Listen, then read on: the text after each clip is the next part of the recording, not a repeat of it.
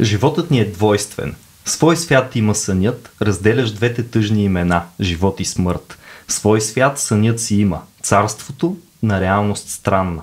В развоя си съдържа той дихания, сълзи и мъки, радостни оценки.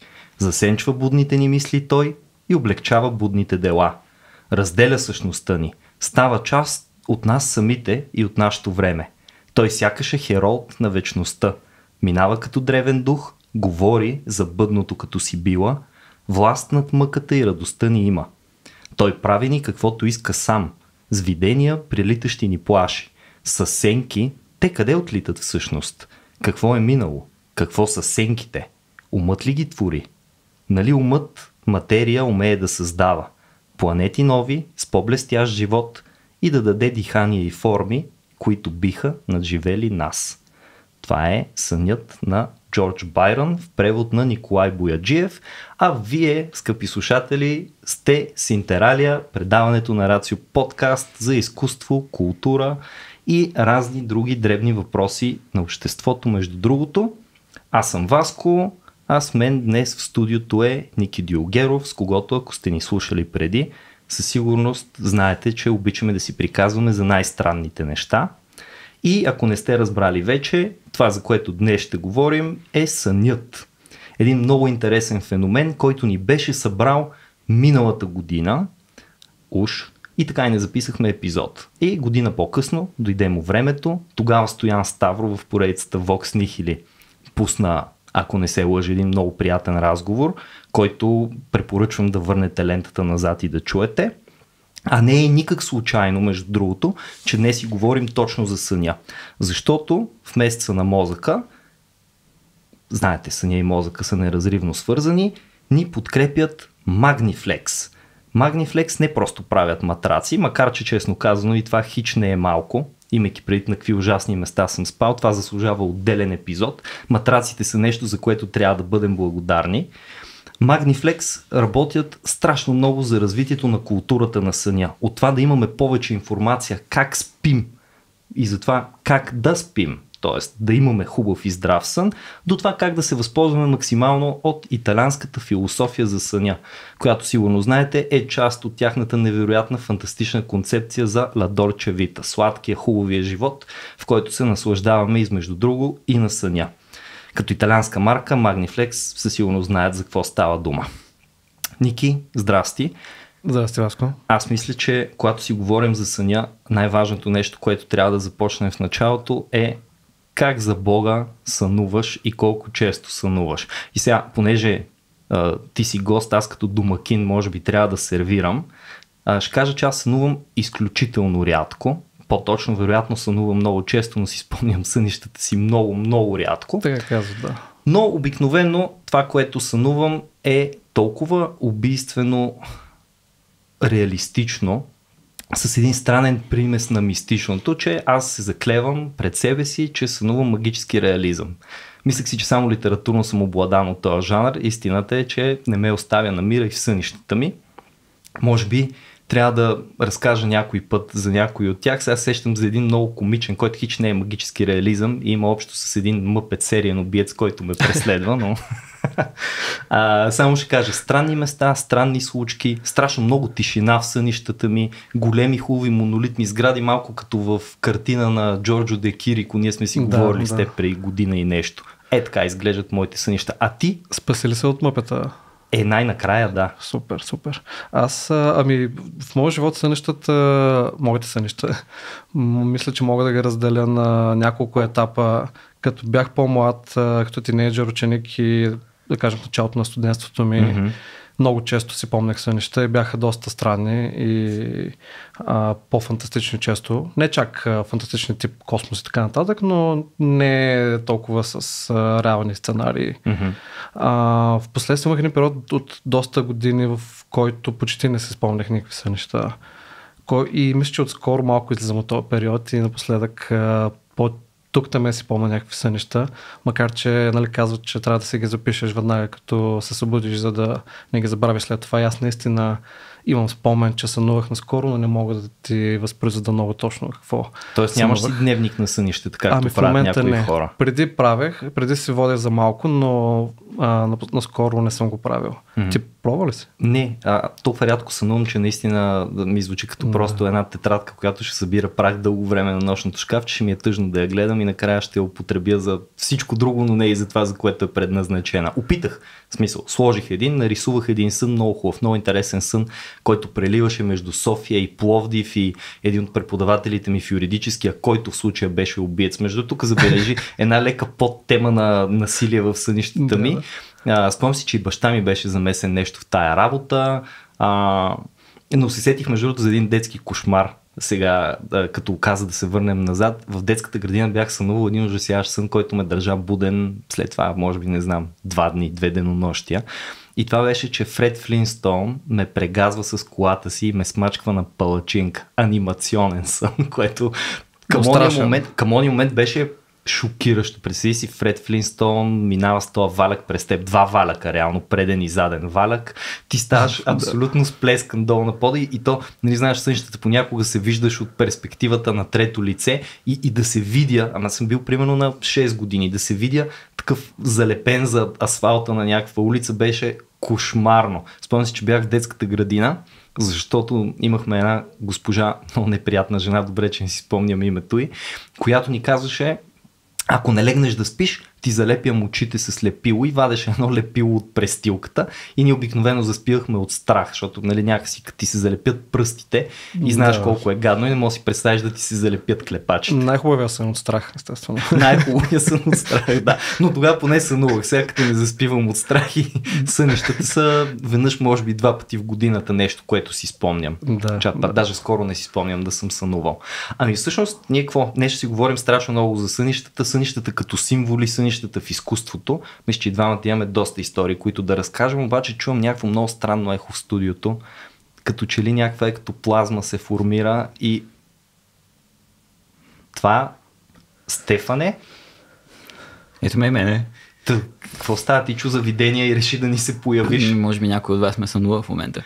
А, не, и двамата. Това е такива споделени са. Общия, да, общия двамата с Васко сънувахме м- сега. Не знам, аз тук, тук, говорим. Тук, тук му вечерях и изведнъж съм тук в момента. Ами, ами извиняваме се на съпругата. Имаш и... малко вода. Какво правим? А, говорим си за сънища. Добре. Така че това е Стефан Русинов, великолепен okay. преводач и приятел на Рацио. Mm-hmm. А, Стефане, ти как би се представил чрез сънищата си? М- за мен Добре, отвъд а, флуидическите неща, които Ще стигнем и до тях. всъщност много, много ме вълнуват а, мене, но това, което ме вълнува в сенщите, защото аз имах период, в който ги записвах много и ги сънувах все повече. Имах чувство, че колкото повече ги записвах, толкова повече ги сънувах. А, а, беше колко удивително нетолковаеми са те за мен, защото аз като съм се занимавал с и някой като ми разкаже сън и си каже, а, ами то това е тук, защото ти всъщност си несигурна или сигурна, защото си оплашен а, и затова си сънува и какво си. Да, да, да, това звучи логично за себе си, никога не, бих, не, не мога да изтълкувам. Сега може би, защото той идва от мене, но тази м- невъзможност да ги изтълкувам а, за мен ми действаше като нещо, което силно ме отстраняваше от самия себе си. Тоест, а, аз се чувствах изключително непознат по този начин самия себе, защото това идва от мене. Mm-hmm. Това, това извира от мене и аз не знам какво е и защо е и what. И а, по, по такъв начин някакси се възприемах, т.е. балансираше ми се усещането между субектност и обектност, някакси започвах се възприемам самия себе си като обект, като нещо, което не знам какво е точно, защото извират от него някакви неща, които нямам представа а, какви са. И за, за мен в този смисъл сънищата са някаква личната ми литература пар екселанс е това. За, защото Добре. нищо не ме е удрило толкова, толкова силно, колкото а, сънищата, особено като съм ги записвал след това. Защото то е изненадващо, то е доста художествено, то е неочаквано и противно на нататък нали, лаканианските неща, които да. твърдят, че не само сънищата ми и лапсусите, грешките излизат mm-hmm. от, нещо, от, подсъзна, от несъзнаваното, което те твърдят е някаква друга организация, някакъв друг дискурс. Аз си мисля, че ценното за мен на това пространство, откъдето идват сънищата, че то не е организирано. То е хаоса. То е нещото, което изобщо не, не е подредено все още, не е придобило някакъв а, порядък, не е придобило някакъв смисъл. То е семиотичното, както го а, нарича там Юлия Кръстева и около, около нея нещата. Като каза Юлия Кръстева и това, че се колебаеш за себе си, дали си субект или обект, може вече да наричаме сънуващия обект, Обект. Стефан Русинов. Ако искаш да влезеш в категорията на отпадъчни косми, телесни Тотално там течности и съм, така там нататък. съм, да, да. Но това е най-вълнуващото, като съм имал такива сънища за, за гадости, да. Това е защото те, нали, тия, ние тя ги потискаме и ги изтикваме от, а, не само от субектното, ми от обектното, защото някакси ги, не, не, той, е, нали, по средата е обекта. А, и сега, нали, имаме, имаме лайна, които са смърдят и не искаме да имаме нещо, общо с тях, обаче трябва да се справим с идеята, че тия лайна излизат от нас. Всъщност, Да. те са в нас. Ето в момента всички ние, тримата имаме лайна в нас. Как, както малките деца са доста Сега, извинявайте, впечатлени. Който го пусна, дали може да го изключи сега е много добър момент. Защото ще продължаваме. Да. Тия лайна. Не, бе, няма лошо. От време на време да си кажем истината. Защото кое не е така в крайна сметка. Добре, сега ти казваш сънищата колко са хаотични и така нататък, но не винаги сънищата са възприемани като хаотични.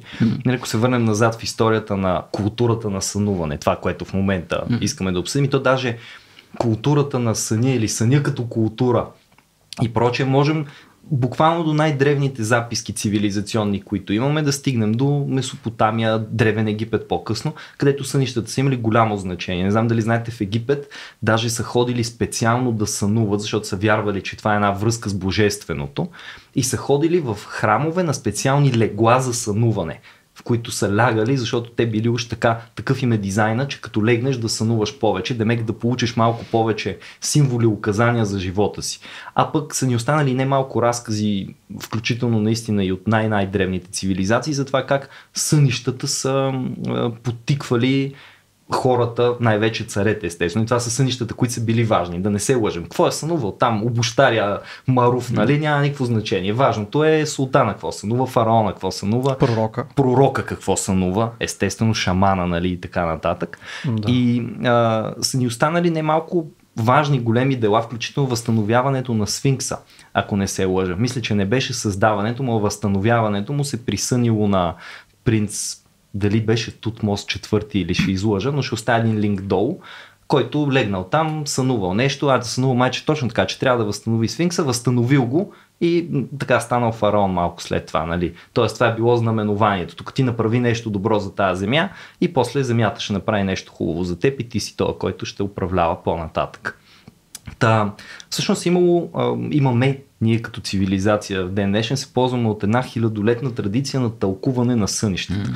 Много е яко как всъщност тълкуването на знаците си оставя една страхотна връзка между най-древният човек, дори бих казал първобитният човек, дивият човек, който не е имал много понятие от събирането на групи, да не говорим за демокрация, след като той не е имал и обуща, и огради, и подобни прости инструменти за живота си и а, една напреднала цивилизация. Тоест, ние а, ушким с всичко се опитваме да вървим по-напред, по-напред, по-напред, а в сънищата като че ли сме забили на едно място. И съвсем нормално тия знаци продължават да се откриват. Те след малко ще отворя тук един Юнг има, който казва, нали, това е директно а, същата ситуация. Дали сънуваш гора преди 3000 години или сънуваш гора сега, това не е някакъв нов сън. Тия символи са останали. Те са някаква форма на нецивилизация дори.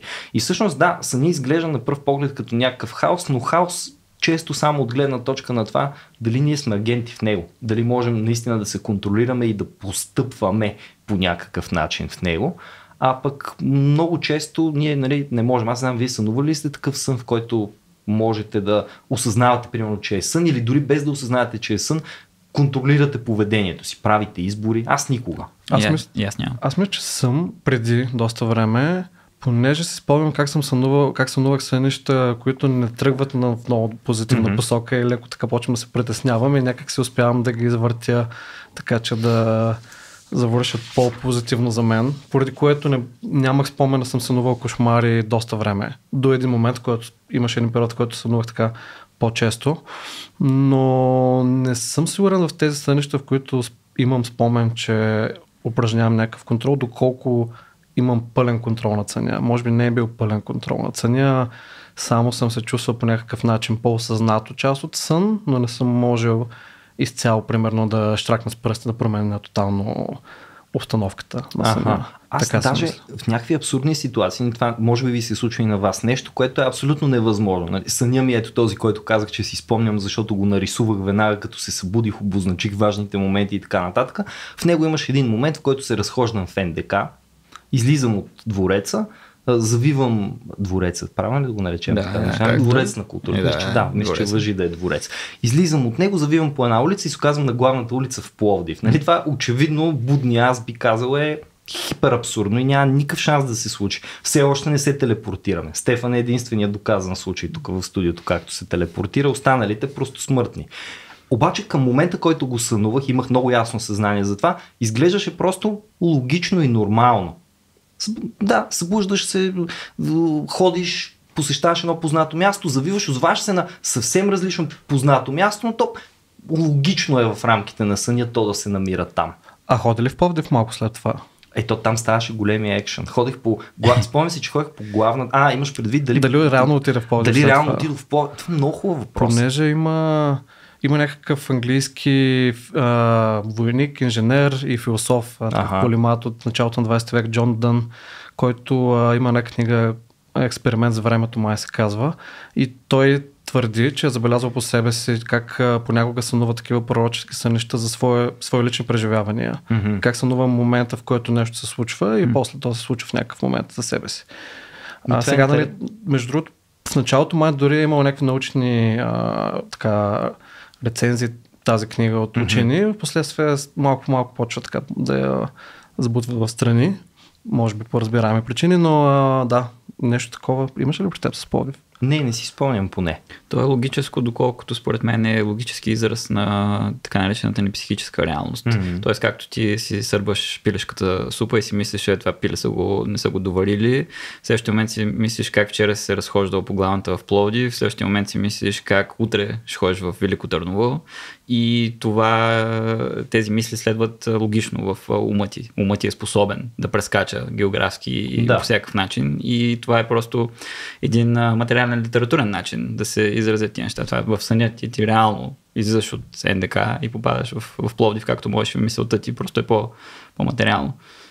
Ми, всъщност имаше един друг елемент, който обаче беше истински и той, е, че на главната в Пловдив си спомням, че имаше страшна агитация политическа, няколко политически партии с шатрите там, нали, размахват ела, гласувай за нас и така нататък. И скоро след това имаше избори. Така че не е като да няма пълна връзка с реалността и между другото това никак не е чуждо като, като интерпретация, защото измежду всички там ам, пагански, езически форми на о, тук сънищата са, нали, връзка с един друг свят. Аз подходящо съм с тениска на Доктор Стрендж. Ако сте гледали последния Доктор Стрендж, там той пътува из мултивселената и един от неговите клонинги, т.е. не клонинги, една от неговите версии в друга альтернативна вселена му казва, тук открихме отдавна, че сънищата са връзката нали, между на- нас, между теб и другите теб в, в мултивселената и затова сънувал ли си някога, че падаш, защото ако си това съм аз, който хвърлям нали, другите и там се окаже, че е някакъв съвсем изперкал, изперкал него но това хич не е чужда идея. Нали? Още първите сънища, връзка с божественото,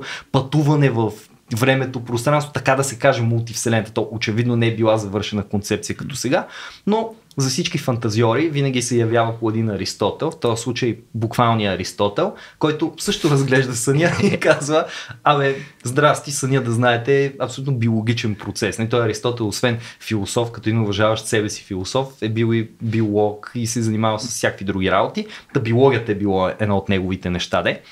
И той казва биологичен феномен, когато сънуваш, сънят ти, нали, той не е някакво случайно, хаотично, мистично събитие или нещо подобно. Ми напротив, той означава едно от три неща. Или е причина, ето го това. Сънувах съня за Пловдив, това ми напомни на Пловдив, ще отида към Пловдив, т.е. съня причинява да направиш нещо, но то не е нещо предвещаващо, не е, не е в същинския смисъл предзнаменование. Mm-hmm. Или е знак за нещо, казва, или е едно случайно съвпадение. Тоест той не допуска, че можеш да сънуваш случайни неща, сънуваш, че летиш. Просто. Очевидно няма да летиш, нали? Няма да причини да летиш, няма да се хвърлиш, въпреки що пък не. Ако се хвърлиш от някоя скала в опит да летиш, предполагам, че тогава ще се впише в тая хипотеза. Може да е някакъв знак, казва, нали? Обаче със сигурност не е поличба в класическия смисъл. Нали, «О, тук сега ти показвам едно видение, нещо, нещо. Казва, че това може да бъде знак за някакви бъдещи действия. Тоест, ти си, примерно, си намислил отдавна да ходиш до Пловдив, сънуваш Пловдив и сънят ти те подсеща. Той е дремало е някъде там, много на заден канал в съзнанието, ти, ти дълго време си си спомнял, изведнъж хоп, спомняш си и кажеш, е, сънувах, че ходя в Пловдив. Това е знак, че трябва да отида в Пловдив. Ама не е знак от нищото, ми знак от планирах и не отидох и сега трябва да отида. Или казва нещо много интересно, че сънят ти е признак за процеси, които се случват в тялото ти, което аз намирам за много напредничаво, имайки предвид, че его 25 века по-късно Фройд всъщност казва браво на Аристотел, защото аз си мисля същото нещо. Сега дали е прав или не е друго. Нали? Аристотел казва, когато си болен, тялото ти може и съзнанието ти да знае, че си болен, да засече знаците, много преди тая разумната, осмислящата част да го знае. И понякога чрез сънищата просто ти дава такива сигнали. Нали? И затова, може би, по такъв начин може да се обясни и защо някои хора, сънувайки, че страдат или умират или нещо подобно, по-късно наистина се разболяват и, и живота им приключва, им причинява нещо такова. Така че той пък дава един много обран, много научен подход в изследването на сънищата и може би дори открия някакъв ред в тях толкова отдавна. Между другото, а, ако се върнем пак на това с а, изпълняването на сънища само за малко, а, има някои народи, които са а, даже не толкова древни, още си имат а, племена в Северна Америка, да кажем, mm-hmm. може би в Азия, различни народи с различни концепции за сънища, но например при някои от тях мисля, че в Северна Америка, някои от канадските индиански племена а, вярват, че за да може да направиш нещо, някои неща, да можеш да ги направиш в реалния живот, трябва първо да ги сънуваш. Не може да, няма да можеш да ги направиш реално, ако преди това не ги направиш на сън. Примерно да отидеш на лов и да хванеш а, бизон mm-hmm. или лос. А, не съм сигурен, сигурно има бизони там. Най-вероятно. И, и това е много интересно. До някъде може би ограничаващо, обаче в крайна сметка то живота на тези хора, това по-скоро не е чак толкова изпълнен с а, дразнения и а, шум, колкото може би нашия съвременен живот, така че по-често може би им случва да сънуват а, тези животни, които ловуват или а... Аз се чуя дали желанието ти така не се намесва, дали няма да такова мечтая си да сънувам, че ще... Ето тази вечер си лягам и ще сънувам, че съм на лов. И в един момент, нали така, ако имаш наистина силни чувства към определено преживяване, случка или каквото иде, наистина да го сънуваш. Защото нали, другото е очевидното обяснение, което е да кажеш, че си го сънувал без да си го сънувал. Сънувах тук, че нали, си взимам за булка на девойката ми готово. И девойката какво ще ти каже? Ай, щом си го сънувал, значи може. Да, ама и пак е зависи как, как ти, ако някой те интерпретира съня, как го интерпретира, защото на някои места не е толкова важно ти какво ще разкажеш като сън, ами този, който, да кажем, някакъв а, шаман или mm-hmm. а, свещеник, жрец, да, който го интерпретира, ако го интерпретира грешно и това не се случи, което още трябва да се случи, жреца може и да си изпати. Дали? Особено аз, аз си представям, че в, тия, в тая обществена, обществена, предполагам, че да, форма, все пак, ам, те са толкова на почи, че не могат да сбъркат. Смисъл, каквото и да ти каже там, шамана, жреца, Просто то ще се сбъдне под една или друга форма. Той ти казва, о, сънувал си тук, че ти пада зъб, това е на смърт и утре ще умре една от кокошките, примерно. И ти ще кажеш, слава богу, само една кокошка ми умря, нали? Аз мисля, че тук Бог знае какво ще стане, но ето сега, сбъдна се. Сбъдна се. Човека в търсене на символи, а? Ако тръгнеш да търсиш сбъдване, дали, пък вярвайки особено на този, че наистина може да тълкува сънища, дали пък всички сънища няма да се сбъдват. Е, хубаво, какво ще стане, ако не ти умре кокошката? Ще отидеш при другия жрец следващия път. Нещо, нещо ще умре. Другата пирамида. Все нещо ще умре. Той, ако е умен жрец, няма да каже. Има ли, има ли жрец конкуренция? Тогава ами... не е ли има само един жрец? Бих предположил, на, на, върха на, на, върха на пирамидата само той има достъп до небесното, до божественото. Е, тя пак Зависи, е от организацията. Да. И ми сменяш племето там и защото не ти умре кокошката и тук Сменяш не религията. Това не е сериозно. Не. Е, а, като стана просто за смяна на религията, мисля, че една от легендата за Константин Велики е, че преди на ключова негова битка срещу, срещу а, друг римски генерал. А, mm-hmm. По това време има някакви междуособици. А, той сънува, че сънува някакъв кръст светещ и след това печели битката и решава да наложи християнството като религия, след като става император. А, но е легенда. Да. Аз ония ден, като се прибирах към София, минах покрай един голям светещ кръст. Не знам дали сте минавали на влизане в София, има такъв бял светещ кръст, нямам представа какво го означава. Еми, не, в смисъл, то навсякъде има. В- на много градове, да. Ама той, да. ама той е така просто по средата на нищото. Да, Пътя да, към София, съм, така да, от дясната страна е един голям бял свет. Ими да го, вижда, да го виждат хората в колите и да, да, да знаят, че Бог е там. Jesus Take the Wheel. Аз Да, се сетих да. за Сорентино, там тия сериалите с папите, дето има едни неонови кръстове и кълчещи се монахини, но за съжаление беше само А, да, кръст. между другото в Корея също има много, супер много такива неонови кръстове. И аз, примерно, като съм се возил с метро в, в Сеул вечер, Мгм. и е някакво смисъл, някаква гора от кръстове светещи. Та- А, те там Християни, да. Са много яко християни. Да, Да. Католици ли са, да. да. Нямам идея. Има май доста секти християнски в Корея. Сигурно, да. Колкото да знам. някакви нишови, да. Аз съм ви донесъл тук една страхотна книжка. Не знам къде да я покажа. Знаете вече тук подкаст е аудио и видео. Ние ще оставим естествено един линк за слушащите само, за гледащите. Тук в една камера показвам съногаданията на Артемидор Дълдиански. Това е много готина книга, защото честно казано от древните текстове, такъв пълен текст, те са пет книги, мисля бяха. Сега, не че не мога да разлисти и да ви кажа, но са, струва ми се точно така.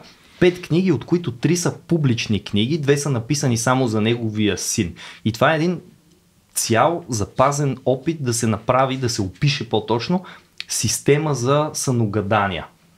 Като, ето, самия Артемидор казва, пътувал съм аз тук, обикалял съм, какво беше? Обикалял съм градовете, общо гръцки светилища и игри, най-важните събития по това Мгм. време, както в Елада, така и в Мала Азия, така и в Италия. И знае големите и многолюдни острови, винаги съм беседвал с тези свестни люде, очаквайки да чуя от тях за древните сънища и техните сбъдвания. Той всъщност говори, доста казва за негови предшественици, включително изброява по имена и нито един от тях не е запазен. Тоест, всъщност това ни е ръководния текст за някаква древногръцка форма на съногадания. Обаче вместо да бъде нещо, аз като чуя съногадания, признавам си, като бях дете, нали, имаше едни съновници, те сигурно още ги има и се продават да, навсякъде. Сънуваш канче, това означава еди какво Това си. означава еди какво си. Да, и си представях нещо такова. Всъщност, тук най-голямата ценност се крие в уводите към всяка от главите. Тя, първите три книги, които са адресирани така, публичните книги, са адресирани към Каси и Максим. Има някаква спекулация кой точно Каси и Максим е това, ма няма значение. Кой. Важното е, че Артем, Артемидор оправдава излага един научен метод. Той казва, аз тук стъпвам върху всичко, което преди мен е постигнато, като ще развенчая някои грешки, които се повтарят многократно, обаче няма да го направя нали, празнословно, ами ще го направя а, така много добре обяснено, аргументирано с най-вече от моята собствена практика. Ето тук казва, нямаше друг начин да навляза дълбоко в тази професия, освен да ходя там, хора да Е. сънуват и аз да ги разпитвам и да гледам какво се случва. Нали? И казва, подробно, задълбочено всичко ще ви опише, от мен ще чуете чистата истина. Какво да каже сега човека пише, нали, за съногадания. А не някакви си там братвежи, защото подплатя на всяко свое твърдение с ясни и лесни за възприемане доказателства. И после започва супер методично. Кога е писал той? Ами, а ще те излъжа, примерно нещо от порядъка на втори век. О, окей. Звучи Да. като а, оригиналното бързо и лесно за сънища. Да, да, точно, точно. Обаче е такова бързо и лесно и за учени хора, защото нали, не е нужно да убеждаваш толкова аргументирано хора, които са суеверни и биха ти повярвали на всичко. Е, те не са можели да четат сигурно в това време, Да. тия без това да. Така, и за ти, които могат да четат, трябва да ги убедиш, защото нали, да можеш да четеш е сила само по себе си и, и той започва. А, дели а, съновидение и сънуване. Казва това са две различни неща. Може да сънуваш, но това не означава, че имаш съновидение. Защото съновидението е знак за бъдещето, а сънуването е резултат от настоящето. Примерно цял ден си носил камъни и сънуваш някакъв тежък труд и той казва, се да, това не е съновидение, това няма знак, няма някаква поличба вътре в него. И как разбираш? Еми, трябва да Че утре също няма да Мала. Азия, Италия и така, Така, нататък. окей, нали? добре. За да го разбереш това. се. Така Ар- казва. Артемидор. И после почва. Съновиденията се делят на два типа. Буквални и носказателни. Не, буквалните са да сънуваш точно това, което ще стане. Дава за пример, казва, един човек сънувал, че попада в корабокрушение и на следващия ден кораба му бил обърнат от вълна. нали? Тоест, случило му се това корабокрушение. Но сказателни са, някой сънувал, че е на лов за сърни, пък сърната се свързва с нежността и не след дълго ходил по жени. Нали? Такъв тип ам, Тоест някакви алюзии, нещо, mm. което подсказва за нещо, което ще се случи. После почва едни, тук няма да ви ги чета, аз ви препоръчвам да погледнете книгата, нали, ама започва лични, общи, първи случай, втори случай, четири категории. Нали, то наистина звучи като един много сериозен а, труд, научен труд. Mm. Нали, това е докато не стигнете до момента, в който почвате да четете самите а, сънища. Самите сънища, да. Защото той започва, ето тук сега намерих някаква десета част от първа книга след основните положения в съногаданието, но той вече ги е изложил. Следва да разгледаме как трябва да се преценят най-важните символи. Изложението ще се гради върху следната схема. Ще започнем не както старите автори от боговете, ако и да се сторим някому безбожници, а следвайки естествените взаимовръзки в живота. Да, е, ми опасна работа там. Ако съм прав, че беше около втори век, значи смяте. Без боговете лошо. А следвайки естествените взаимовръзки в живота, ще започнем първо от раждането, след това ще разгледаме отглеждането, възпитаването на децата, после ще говорим за тялото и неговите части, дали са повече и по-малко, големени или смалени, променени в друга форма или материя. След това ще говорим за овладяването на занаяти, изкуства, наука, сетне за началното военно обучение, за телесното възпитание, спортните състезания, баните и къпането, демек всички най-важни неща изброи. След това всички храни, течни и твърди, козметични средства, еротиката и най-накрая за спането. И това е само в първа книга. Втора книга има и още неща и така нататък. И нали, после отваряш и се започва с едни, ако някой е сънува, ето тук ще отворя някъде случайно, а тук точно няма да е. Излизането рано от къщи без някой от домашните да се опита да попречи и без пътната врата да се окаже заключена е добър символ, понеже сънуващия ще постигне това, което е желаял и планирал. Е, това е точно като съновник. А точно като съновник, да. да. Нали, той обещава целият научен метод на света mm-hmm. и после ако, ако сънувате бяла дреха, това означава, че ще умрете, защото мъртъвците ги погребват в бяло. Ако сънувате черна, означава, че ще останете живи, защото в черно се обличат скърбящите. Обаче веднага казвам, но аз знам за много случаи, в които роби и бедняци сънуваха, че са облечени в черно и после умряха, защото те нямат пари за бяла дреха и за тях черната дреха е символ всъщност на смъртта. И се почва. Ако си сънуваш главата, че е голяма, ако си сънуваш зъбите, ако сънуваш уши, ако сънуваш, че пипаш нещо, ако сънуваш, че нещо те пипа, има включително за скотоложство, нали? И е хубаво е, ако ти обладаваш някое животно, но е много лошо, ако то те обладава тебе. И така нататък. Виж, забележи, че все пак има някаква вариативност, когато различни хора сънуват едно и също нещо, да. че означава различни неща. Да, да, е страхотно е. Много, много важна стъпка. Той това, роб той с това казва, че е голям специалист, защото той казва, нали сега тук аз не просто като старите казвам един символ означава едно Ето, нещо, не той дига, съновник, да. дига малко мизата. Казва, да, да. нали, аз знам, трябва да ми дадеш положението ти, за да ти кажа ти като си го сънувал, свободен ли си, роб ли си, богат ли си, беден ли си. Но това стига, разбира се, не знам дали е от превода или в оригинала е така, до едни много странни изказвания. Имаше едно място, в което пишеше, примерно нещо от порядъка на това, ако го сънува жена, еди какво си. Ако го сънува okay. мъж, еди какво си. Ако го сънува богат човек, пък mm. означава това. Ако го сънува беден човек, пък означава това. А във всички останали случаи, еди какво си.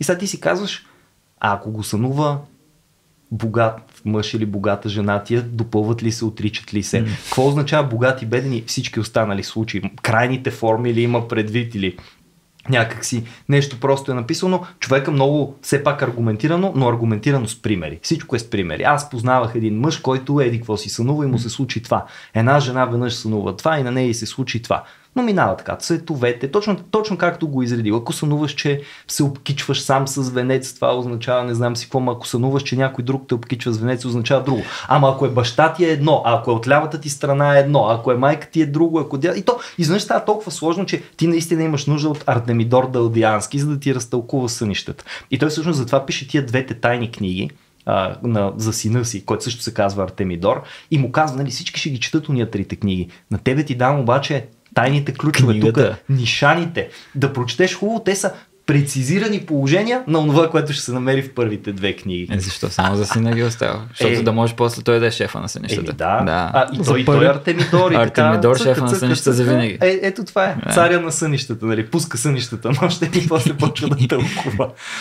Аз ме е интересно също за идеята, за че някой пуска сънищата. Е, нали? е много красива. Да. Като The Sandman малко на Нил Гейман, който стана популярно покрай Netflix сериал също наскоро. Да, между другото, аз така и не го изгледах, признавам си. А не съм и чел. Тя е графична новела, оригиналния да, материал, нали? Да, са доста интересни. Аз съм чел някаква част от тях. Един интересен момент от тях с пример с сънища беше как а, имаше една глава, в която котките се събираха и правеха конспирация срещу хората, защото вярваха, че, хората, че в миналото котките са управлявали света, хората са били техни домашни любимци. Аха. Но хората всички масово в една нощ са сънували, че те са господари вече и след това е, това О, се е сбъднало. И котките искат да направят обратния процес, да се организират, да сънуват едновременно в една вечер, че пак те са господари на света. За да се обърне положението. Да, да. А, това е. Ме много ме вълнува всъщност те, а, а, положението на съня в а, едно общество. Аз мисля, че сънищата малко или много са социално конструирани, въпреки че извират нали, от някаква дълбока душевност, коя, която имаме, но си мисля, че ето както го, организират ето тези, примерно, ние не можем да предприемем каквото и да е действие преди да го сънуваме, т.е. съня М. да става някакво централно място в, в това общество, има централна роля. Ние като че ли тук, освен тия съновници, които не знам дали все още някой възприема на сериозно, не, не говорим твърде много за сънищата. Аз, при- примерно, ето съм се пускал на, на, на терапия няколко пъти и не помня, примерно, терапевката да ме е питала за сънища. И аз като че ли не, съм го считал за достатъчно важно, за да го м, за да разкажа нещо на, на нея. И си мисля, че а, как, но, много зависи как, от това как ние се отнасяме към сънищата като обществено явление, а, зависи до някъде самите ни сънища. Тоест, ние ако възприемем, че сънищата имат някаква по-централна роля, те ще почнат да, да се променят, ще почнат да, да сънуваме други неща. Заради това социално разбиране. Тоест, на мислиш, че можем да си влияем на сънищата всъщност, ако вложим старание в това по някакъв начин да ги моделираме или? И да влияем, да, но не контролируемо. Да. Между другото, може би, а, сякаш, сякаш са малко вторичен елемент от живота, наистина, сега съвременния М. са нещата, но а, с, И литературата също. може би при, може би при някакви народи, да кажем по-стари народи, номадски, които нямат чак толкова много вещи, а, някакви такива преживявания са по-ключови.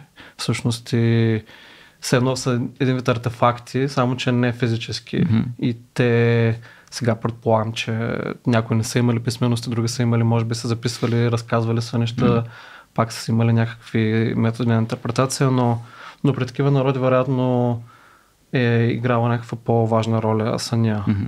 А, докато при нас сега сме затрупани всякакви материали Мгм. и, и, съня, и затова, нали, то не, може би не е за това, нали, консенсуса или поне доста популярни така научни а, идеи са, че мозъка обработва а, някак, нещо със сънищата а, и, и са някакъв такъв много важен процес. Мгм. Даже мисля, че има някакви експерименти от 20 век с а, хора, които са били тъкмо като тръгнат, като влязат в, в фазата на а, REM, на бързото дви- движение на очите. И когато се смята, че сънуват повече, да ги събудят и така да ги прекъсват когато тръгват да сънуват според наблюдаващите. И уж наблюдават, че всъщност не спят качествено, така не си отпочиват Мгм. и а, е, те, те, тезата, теорията на поне на тези учени от този експеримент е, че ако човек не сънува дълго време, може да умре. Аха, липсата на сънища като... Да, доколко пак, пак доколко, е, не, доколко е истина, О-о. друг въпрос, но има, има някакво мислене в тази посока. Аха. Аз чувствам заплашен тогава в това отношение. Не съм сънувал известно време. Ами, на мен- се струва наистина, че тук в нашето общество, за българското конкретно Да. говоря, сме изтласкали точно семиотичното, предвид под семиотичното, това, което все още, това, което се е формирало преди да имаме съзнание. Мгм. Това, това, кое- което все още не е подредено, няма концепция за себе си, няма самоидентичност, все още е съществото, което а, изживява света а, няма концепция за аз и ти, все още, нали, огледалната фаза все още не, не е достигната. А, това за мен е много важно да се поддържа а, достъпа до него. М, може би нали, не бива да му се дава твърде много да се, да, да се промени баланса в друга посока, защото аз в някакъв момент, като си нямах никаква работа и като прекарвах голяма част от времето на леглото си, пък а, бях навътре много точно в, в сънищата и много mm-hmm. ги записвах тогава и почва, почвах да чувам, примерно, унасям се и все още не съм заспал, обаче някакви гласове почнах да чувам тогава, обаче в смисъл те бях глас, гласове на, на някакъв чужд език. И аз чувам някаква, някаква дума, която не съществува и си казвам, а, това ще трябва да го запиша, това е някаква странна дума, да се записвам си я тук и записвам каквото ми диктува та, това, което се появява тогава. Нали, това е някаква друга нездравословна крайност. Аз мисля, че и сега също сме в някаква нездравословна а, крайност, като не отдаваме достатъчно значение на, на, на семиотичното. И то не е само за сънищата. Ето, примерно, литературата също ни дава достъп, mm. но, но и литературата също е позебана в момента малко. Бил ли си в някой култ по това време? Имам преди да ти шепнат някакви такива неща на неразбираем език. Това е доста Хауърд Лъвкрафт. Да, одобрява, не. нали, това твой не, период бях, от живота. Бях си самичък в Ухан в общежитието си. Ай, ай, ай. Да. Но, но и също, нали, нали го знаете това как, примерно пак или в просъница, или, mm. или в така в полусън ти идва някаква, някаква идея си някаква, а, фак, си яката идея, записваш, заспиваш, събуждаш се и четеш. Еми, да, и, това, и, примерно, и примерно пише, аз отивам а, на градина и откъсвам едно цвете. Да, то е... това, е това ти е великата идея. Май, май това, което наричат хипнагогично състояние, ага. съм сигурен на български дали така се предава. Ами, май да, хипнагогия. А, да. И мисля, че Салвадор Дали е експериментирал един от известните, които са експериментирали с нещо такова, като се слага ръката на... А, и едно, едното беше, че ня... не помня дали беше точно дали или някой друг, слага се ръката на а, Футиойл и като okay. заспива тя се отпуска и той се буди а, или държи нещо в ръката си, okay. като заспива пак го а, изпуска и се буди, за да използва тази фаза на заспиване. Okay, на плиткото да, да, експериментирали се с това, но и пак много хора твърдят, хора на изкуството твърдят, че им помага, но хората на изкуството също са малко по... Е, да, но, но пак нали, не, не съществуващ език е именно това, с което започнах аз, че тая дума не съществува. Да. Тя очевидно не звучи като дума на български язик. На мен ме звучи красиво поради някаква причина. Не помня каква беше. Имаме записана някъде. И тая дума е дошла от мен някъде. И аз се чувам mm. като нещо, което ми е прошепнато, но, но, но тя е произведена от мен. И аз съм произвел някаква дума на, на, на, на език, който не съществува, без да го осъзнавам. И отново това е някакво отчуждаване. И, и аз мисля, че е много важно да, да, да съзнаваме, че има някакво нещо чуждо в, в нас непрекъснато. Обекта нали, е, е в нас непрекъснато. Мисля, че това е а, изключително важно и пренебрегвано в момента. А сега да не бъда Аристотел тук и да те питам случайно, колко си сигурен, че това е несъществуващ език, а не просто някъде вървейки си чул, примерно някой монголец да казва някоя дума. Това е било преди 5 години. Тая дума по някаква причина ти е оставила впечатление и там някъде в несъзнаваното си е избутал хубаво назад и изведнъж ти се е присънила. Съвсем естествен въпрос. В крайна сметка аз тогава бях в Китай, а пък аз китайски много не го разбирам, честно казано. като ми говорят някакви неща и е джагър Как се казва? Джагър Подстрочник ли превеждаш? Някой ти ги превежда буквално нещата не, аз като, и ти после сглобяваш Като чета много разбирам. А, чертичките ги разбирам, обаче като ми говорят имам големи проблеми. А-а. Особено те там, като говорят на хиляда диалекта. Да. Много, много често не разбирам. Като съм в Китай, в един голям процент от времето, в Китай не разбирам за какво се говори около мен на улицата. Не, това не е толкова странно, защото ето аз дори с по-близък език, с испанския, mm-hmm. заради специфичния начин по който говорят, ми се е случвало да попадам в ситуация след години работа с езика, mm-hmm. в който начина по който говорят, бързината с която говорят, начин по който произнасят думите на мен, ги моля просто да почнат да говорят бавно и, и тогава започвам да разбирам какво ми казват. Да, че чувам да. просто една бълбука на едно такова човешко и не мога, изобщо мозъка ми не може да влезе в ритъм с това, което говорят, но да, не е невъзможно. Мен ми харесва, че го споменаваш това нещо, защото наистина съня като че ли а, то може би е част от е, нашия общо човешки научен подход. Сега ние в Рацио сме и това е последното място, в което бих искал да кажа, че науката ни е развалила някакви неща, но ни е развалила магията интуицио, най-малко. Само нали? интуицио. интуицио. Та, а, има, има нещо такова, че в крайна сметка всъщност все по-малко и по-малко мистични, необясними неща има. Мен много ме кефи тук подхода на Юнг, аз него бих го вързал и с това, mm-hmm. което каза, че като си ходил на терапия, никога не са те питали за сънищата, защото нали, Юнг е ноторно известен като човек, който коментира сънищата, символите, които се откриват в тях и така нататък. Той дори казва, ето в тази хубава книжка, човекът и неговите символи, което пък е не знам дали сте я чели, това е, както се оказва, последното нещо, което той е писал. Тоест, okay. той е също написал една глава с малки букви, не тук пише КГ Юнг, човекът и неговите символи, но с малки букви отгоре пише КГ Юнг и последователи, защото Юнг всъщност е написал първата глава и всяко следващите е един от неговите последователи, които той лично е избрал да пише конкретната част, апостолите. защото е апостолите, точно така. И а всъщност той казва тук, още в самото начало казва, ние трябва да си дадем сметка, че има някакви неща, които всъщност, че няма нищо, което човек напълно да може да разбере. Той започва с това. Има някакви неща, които са неразбрани, има някакви неща, които за нас ще останат чужди и тъна. И когато говори за сънищата, той между другото цитира Артем, Артемидор един-два пъти.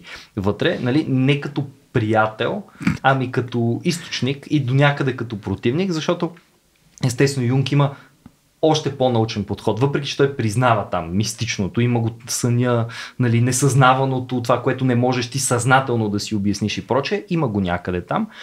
Обаче, а, не е, нали, ако сънуваш канче и то означава, че няма пиеш вода следващите два дни, ала Артемидор. Не, означава, че ще ходиш на пътуване ще ходиш на пътуване. Защото, да, защото, защото, не, напротив, защото канчето, обикновено, когато ходиш в планината, ти си носиш канче или като пътуваш някъде. Се струва, че в съновниците просто нямат връзка с едно тия, в, в, там дето имаше генератори за конспирации, нали? Да. Просто какво ти е името и кога си роден и така се сгубяваш конспирацията. Имам че случи това с съновниците. Не знам, много рядко има това. Да, да, те са, как те, не да. са безумни неща. Да, да, не, не, споко. При Юнг готиното нещо е, че той всъщност много набляга и на връзката между а, доктора и пациента, когато обсъждат сънищата. Тоест, той смята, че по време на терапията всъщност могат и само, само единствено тогава могат да си изяснят тези сънища какво означават, знаците в тях, символите в тях. Има много ясна причина. За разлика от Артемидор, той казва, всяко едно нещо, което се сънува е символ. Да, ние имаме общи споделени символи. Там някакви първични символи има, които ги споделяме. То основата за това може спокойно да кажем, че е културна. Смисъл. Кръст е толкова влязъл в културата ни, че нали, сънуването на кръст за нас тук в християнската част на света означава много конкретни неща. Не, то просто препраща на там. Несъзнаваното ти не е случайно то все пак отбира информация, която хипотетично ти би могъл да разбереш. Просто още не си я разбрал. Така че, когато сънуваш кръст и това те отпраща към нещо, дали ще е божествено, дали ще е мъченическо, нали, или всеки от другите символи на кръста, като кръстопът, което също може да е символ, това има някакъв смисъл. Но той казва, е много важно, че това е винаги във връзка с конкретния човек. И не дали той е беден или богат или роб или свободен, ами кой е той като човек и съответно какъв е бил неговия житейски път, с какво се е сблъскал и тъна. И той казва, единствено по време на диалог е възможно да се извлече какво е съня. Ти сам не можеш да си разтълкуваш съня и една книга не може да ти разтълкува съня. Съня става така, сядаме, ти ми разказваш какво си сънувал, аз започвам да ти задавам въпроси и някъде в този процес се водим, водим, водим. Той дори разказва м- истории за това как е сънувал някои сънища, които не е споделял с Фройд, защото се е притеснявал, че интерпретацията на Фройд ще бъде, че е, той е, примерно желая смъртта му. Нали? И, и затова е решил да не му ги споделя точно по този начин, но казва в тия съмнения, в които аз решавам да не му ги кажа, да му ги представя по друг начин, аз ги осмислям, интерпретирам ги, въртя ги и се сетих как преди няколко години се запознах с един пич, който а, се кефи на карти Таро. Нали, моето отношение към тях е като към повечето такива по-окултни, мистични, ненаучни неща, а именно толерирам ги и смятам, че дори са, не защото толерирам звучи малко неутрално, но смятам, че са много готина част от човешката култура, без да смятам, че трябва да вярваш в тях. И го питах, викам, ти тук си някакъв интелигентен, разумен човек, про, правиш го, защото просто ти е кеф, интересно ти е и така нататък. И той каза ми, всъщност за мен това има много голям смисъл, защото нали, ти имаш някакви дадени тълкования, какво означават картите. Картите Таро, ти ги размесваш, очевидно вадиш някакви случайни карти Таро и тъна, но ако следваш опита да ги тълкуваш така, както би следвало да се тълкуват и да мислиш как абстрактното, примерно там а, императора или глупака можеш да го обвържеш с някаква конкретна идея, в твоя живот, нещо, което се случва в момента, във връзка с въпроса, който си задаваш, защото нали, ти второто кажеш, тук искам да задам въпрос за любовния ми живот, какво ще става с него и вадиш три карти, е такова смъртта, глупака и още един път смъртта. И си кажеш, тук нямаше ли една смърт в тази сте, какво става?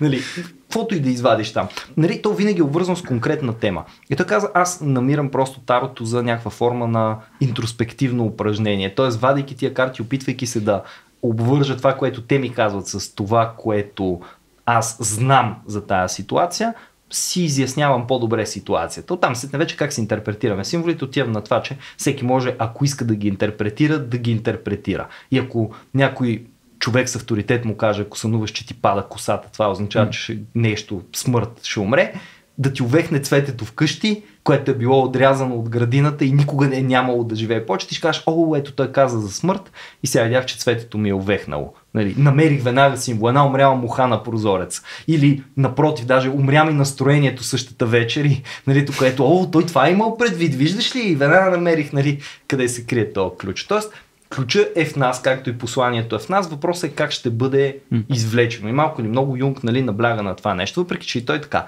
позабърква един така леко мистицизъм има в цялото нещо, защото Юнг, това несъзнавано да, да. нали, вкарва един елемент на пълна непредвидимост. Той е по, така, по, по-мистичен е от Фройд, сигурно. Но аз, на мен ми идва да предложа някакво допълнение към това, защото Айде. аз много се кефа на това, че тълкуваме сънищата и че имаме някаква така наука за това и че сме намерили някакъв а, начин а, след съновниците да разговаряме за сънища и да мислим какво те означават, но една полезна функция на сънищата, е, една, един полезен ефект на сънищата е да ги оставим да не означават нищо. Хм.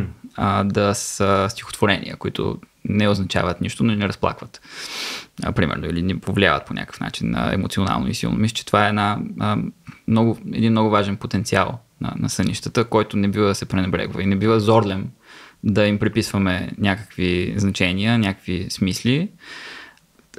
Такива те имат и това също е много продуктивно и, Да. и, и има огромна потенция и със сигурност е помогнало на много хора, но, но, но не бива да забравяме, че а, освен, а, освен проза, сънища са и поезия. На мен а, в този ред на мисли и това, което Васко по-рано каза, за как а, науката сякаш леко е развалила сънищата, а, а, ме навежда мисълта и до, дори до някъде с така а, с кеф за контракултурата и 20 век и как има, има някакъв момент, горе-долу пак около, може би, края на живота на Юнг, а, когато а, по различни причини а, навлизат много влияние, може би от глобализацията до някъде помага за това да навлез някакви източни а, философии mm-hmm. на Запад. Технологията подпомага за това да експериментират хората повече бото с някакви синтетични mm-hmm. субстанции или, а, или с машини а, някакви. И има някакъв бум на. Тя какво ще рече експериментиране с машини? Ами, само ще дам пример. Окей, добре. Извинявай. Не. А, но, но, но сякаш ще наблюда някакъв бум а, тогава, който до някъде се застъпва с а, въпросната контракултура, защото нали, контра на тази анализаторска, поне аз как възприемам на анализаторската култура, която иска ред, иска mm-hmm. обяснение на нещата, съответно и Да, а, всичко да попада в някаква ясна система от Да обясни, да е- в ясен и, дискурс. и, да. и за мен това е много интересно и а, се сетих за един от а, една от най-ключовите фигури в контркултурата и един от най-големите експериментатори и това е Уилям Бароус, а, който се е водил цял живот календар с сънища, записва се сънища и, и се ги е водил. Последната книга, която издава е а, 200 страници някъде сборник с част от тях като тя се казва Моето образование. Е, Защото първия сън, който описва е как се чекира да се качи на някакъв полет, но жената, която му проверява билетата, му казва, че не може, защото не си е завършил образованието.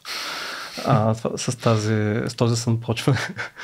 И, и вероятно и той се е опитвал, той, той със сигурност се е опитвал да експериментира с контролиране на сънищата си, но а, една друга идея, която при него, която споменава, повлияно мисля, че от Тимати Лиари, а, е за това как а, сънищата може би, може би ни подготвят за живот а, в космоса, защото ако имаме някакви физически ограничения, окей. а, А. може би по някакъв начин на, Добре. с така наречените на астрални ще може да постигнем нещо. Окей. Това също е идея, която споделя Баро с някакви а, моменти. Cool. Но, но освен това, цялата Култура. тази среда на експериментиране и това, което може би наричаме психоделично, го по някакъв начин го асоциираме с сънища. Било то музика като Pink Да. Floyd, а, а, филми, а, сега филмите на, примерно, аз сещам за Девид Линч, който доста експериментира с сънища в филмите си. Okay. Не мога точно да ги нарека психоделичен, но, но от този от един момент нататък се наблюдава сякаш едно такова повече хаотично, не, не хаотично, но привидно хаотично използване на сънищата, билото в литературата. Самия Бърос казва, че, някой, че, че има сънища, в които пише някакъв, някакъв разказ и после mm-hmm. използва нещо, което е сънувал, че пише наистина в Okay. нещо, което пише реално. А, всъщност, като спомена, като пита за, за машини, пак покрай него има един пример с една сравнително семпл машина, която а, двама негови приятели изобретяват, Брайан Гайсен и Ян Сомървил. А, въпросният Брайан Гайсен е бил много голям експериментатор с пак всичко. Субстанции, техника, философия, източни идеи, каквото се сети човек. А, и той, двамата изобретяват една машина, която нарича Dream Machine, която представлява един цилиндър, който се върти в кръг. По средата има лампа, на цилиндъра има много дупки.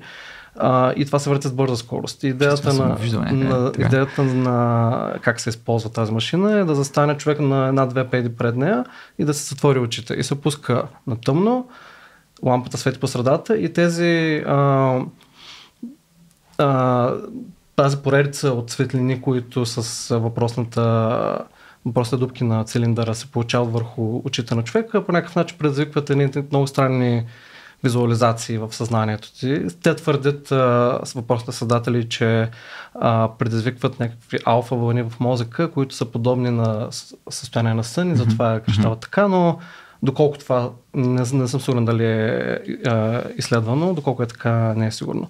Но също сетих, между другото, наскоро попаднах на едно приложение за телефон, което прави точно това ново приложение. Светка ти. Да, казва се Luminate. А, не, го, не е спонсорирано, но е интересно, ако някой иска да пробва, изтеглете си го. Luminate. И да, това, което прави приложението е а, слагате си телефона пред очите, затваряте си очите, цъкате го и а, почва да светка с фенера на телефона много, mm-hmm. много силно. Аз първия път пробвах без да се затворя очите, понеже не видях, че пишеше, че трябва да се затворят очите и не беше много приятно. а, така че да. И също за хора с епилепсия, мисля, че не, не, не. много добре. Като цяло, ако някой пробва да се да прочете на света първо преди това. Но е интересно, да, че някакси това още го има като някакъв експеримент със съзнанието. Mm-hmm. Всъщност, Бърл, когато му показват тази машина, има един а, готин цитат, той казва трябва да штурмуваме цитаделите на, на просвещението. Вече имаме mm. инструментите за това. Еха. Сега те са штурмували тези цитадели по различни начини, както споменахме. Но но да, в един момент литературата, както каза ти, изкуството, киното, почват да вкарва повече такива истории, подобни на сън. Да, а, без да ги обясняват толкова дори. Mm.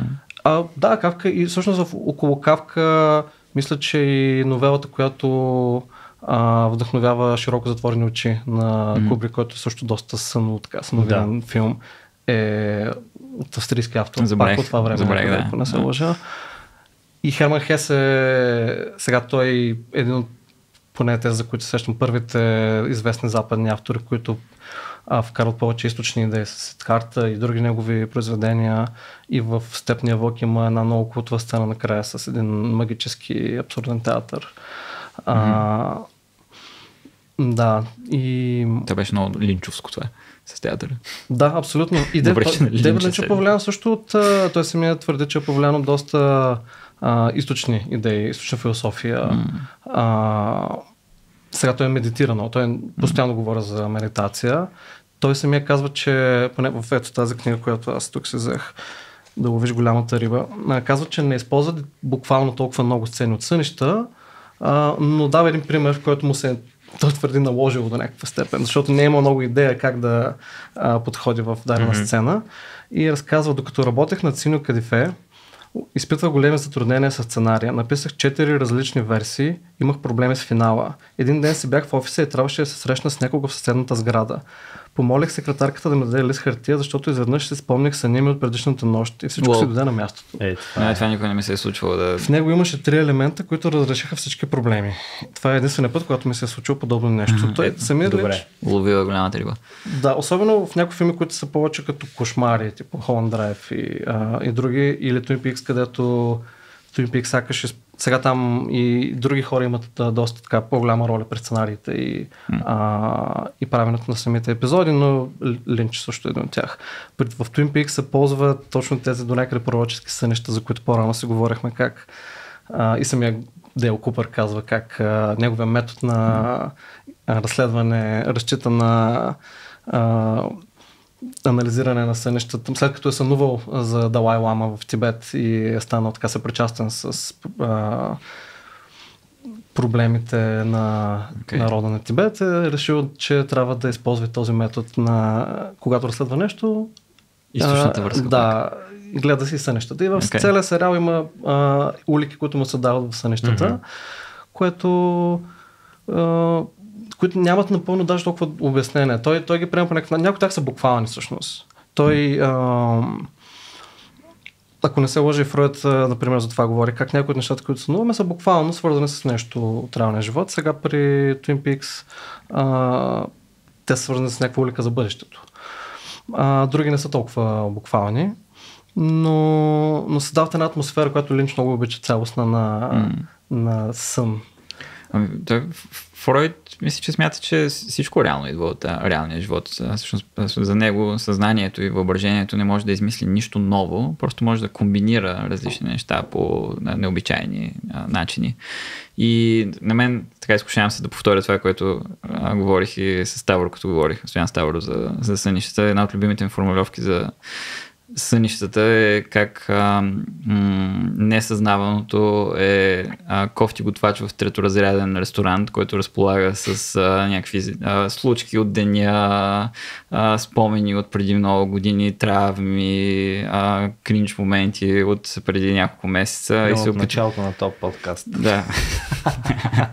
и се опитва да направи някаква манджа с, с всичко Ага. това и то става някакъв чурлюговеч, нали? Това са ти сънищата, всъщност. Той е чурлюговеч от а, кофти готвача, който е Да. несъзнаваното ти. Но да, нието ти, а, ние почна, ти почна с Байрон, който е нали, а, а, голям романтически поет. Романтизма се появява именно така като противовес на просвещенските идеи, които нали, там засилват ратиото, пък а, отслабват а, интуициото. А, и а, всъщност а, и интереса към изтока фигурира още от романтизма. Нали, Хесе и хората там в началото на 20 век са хората, които вече по-сериозно го прокарват, но интереса фигурира още от тогава. Да, Шопенхауер, например, горе по това време и в философията вкарва една гледна точка, която е вдъхновена от будизма. То, между другото, е това е много интересно. Ако се разгледа пък съня, ам, как фигурира в познатото ни изкуство през различните епохи, включително като контракултура, си е много як пример, е сега съвсем скорошен. А, нали, като си мислим за ренесанс, ренесансова живопис и така нататък и си представяме там Рафаел рисува някакви красиви хора, супер пропорции, от време на време и даже бих казал от време на време много често разни библейски сюжети, включително а, как се казва, стълбата на Яков, нали така, Яков там, дето сънува Да. една стълба нагоре и прочее, Рафаел има една картина, която е такава. И, и нали в Ренесанса, докато все още съня е връзка с божественото, както и в античността, даже аз бих казал, че по-скоро по-рано нали, в античността, в средновековието, макар че в средновековието очевидно също е било и, и божествен сигнал, а пък преди да бъде божествен, може би е бил а, такъв първичен, който е свързан с някакви дори хтонични зли сили понякога, нали, той сън или най-малкото необясними, някакво магиосничество там. Тук вещици цък-цък. Там, изведнъж по времето, в което в Ренесанса съня е връзката с Бога все още, вдъхновение и проче, а, се появява Иеронимус Бош. И аз през януари бях на една много яка изложба, ходих до Милано за два дни и част от причината да съм там беше а, изложба на Бош, която се казва Бош и другия Ренесанс. И всъщност там бяха изложени за първи път събрани много творби на Бош и последователите му. Оказва се, тогава го научих това с голяма изненада, че много от творбите, които минават за творби на Бош, всъщност не са творби на Бош. О, Да.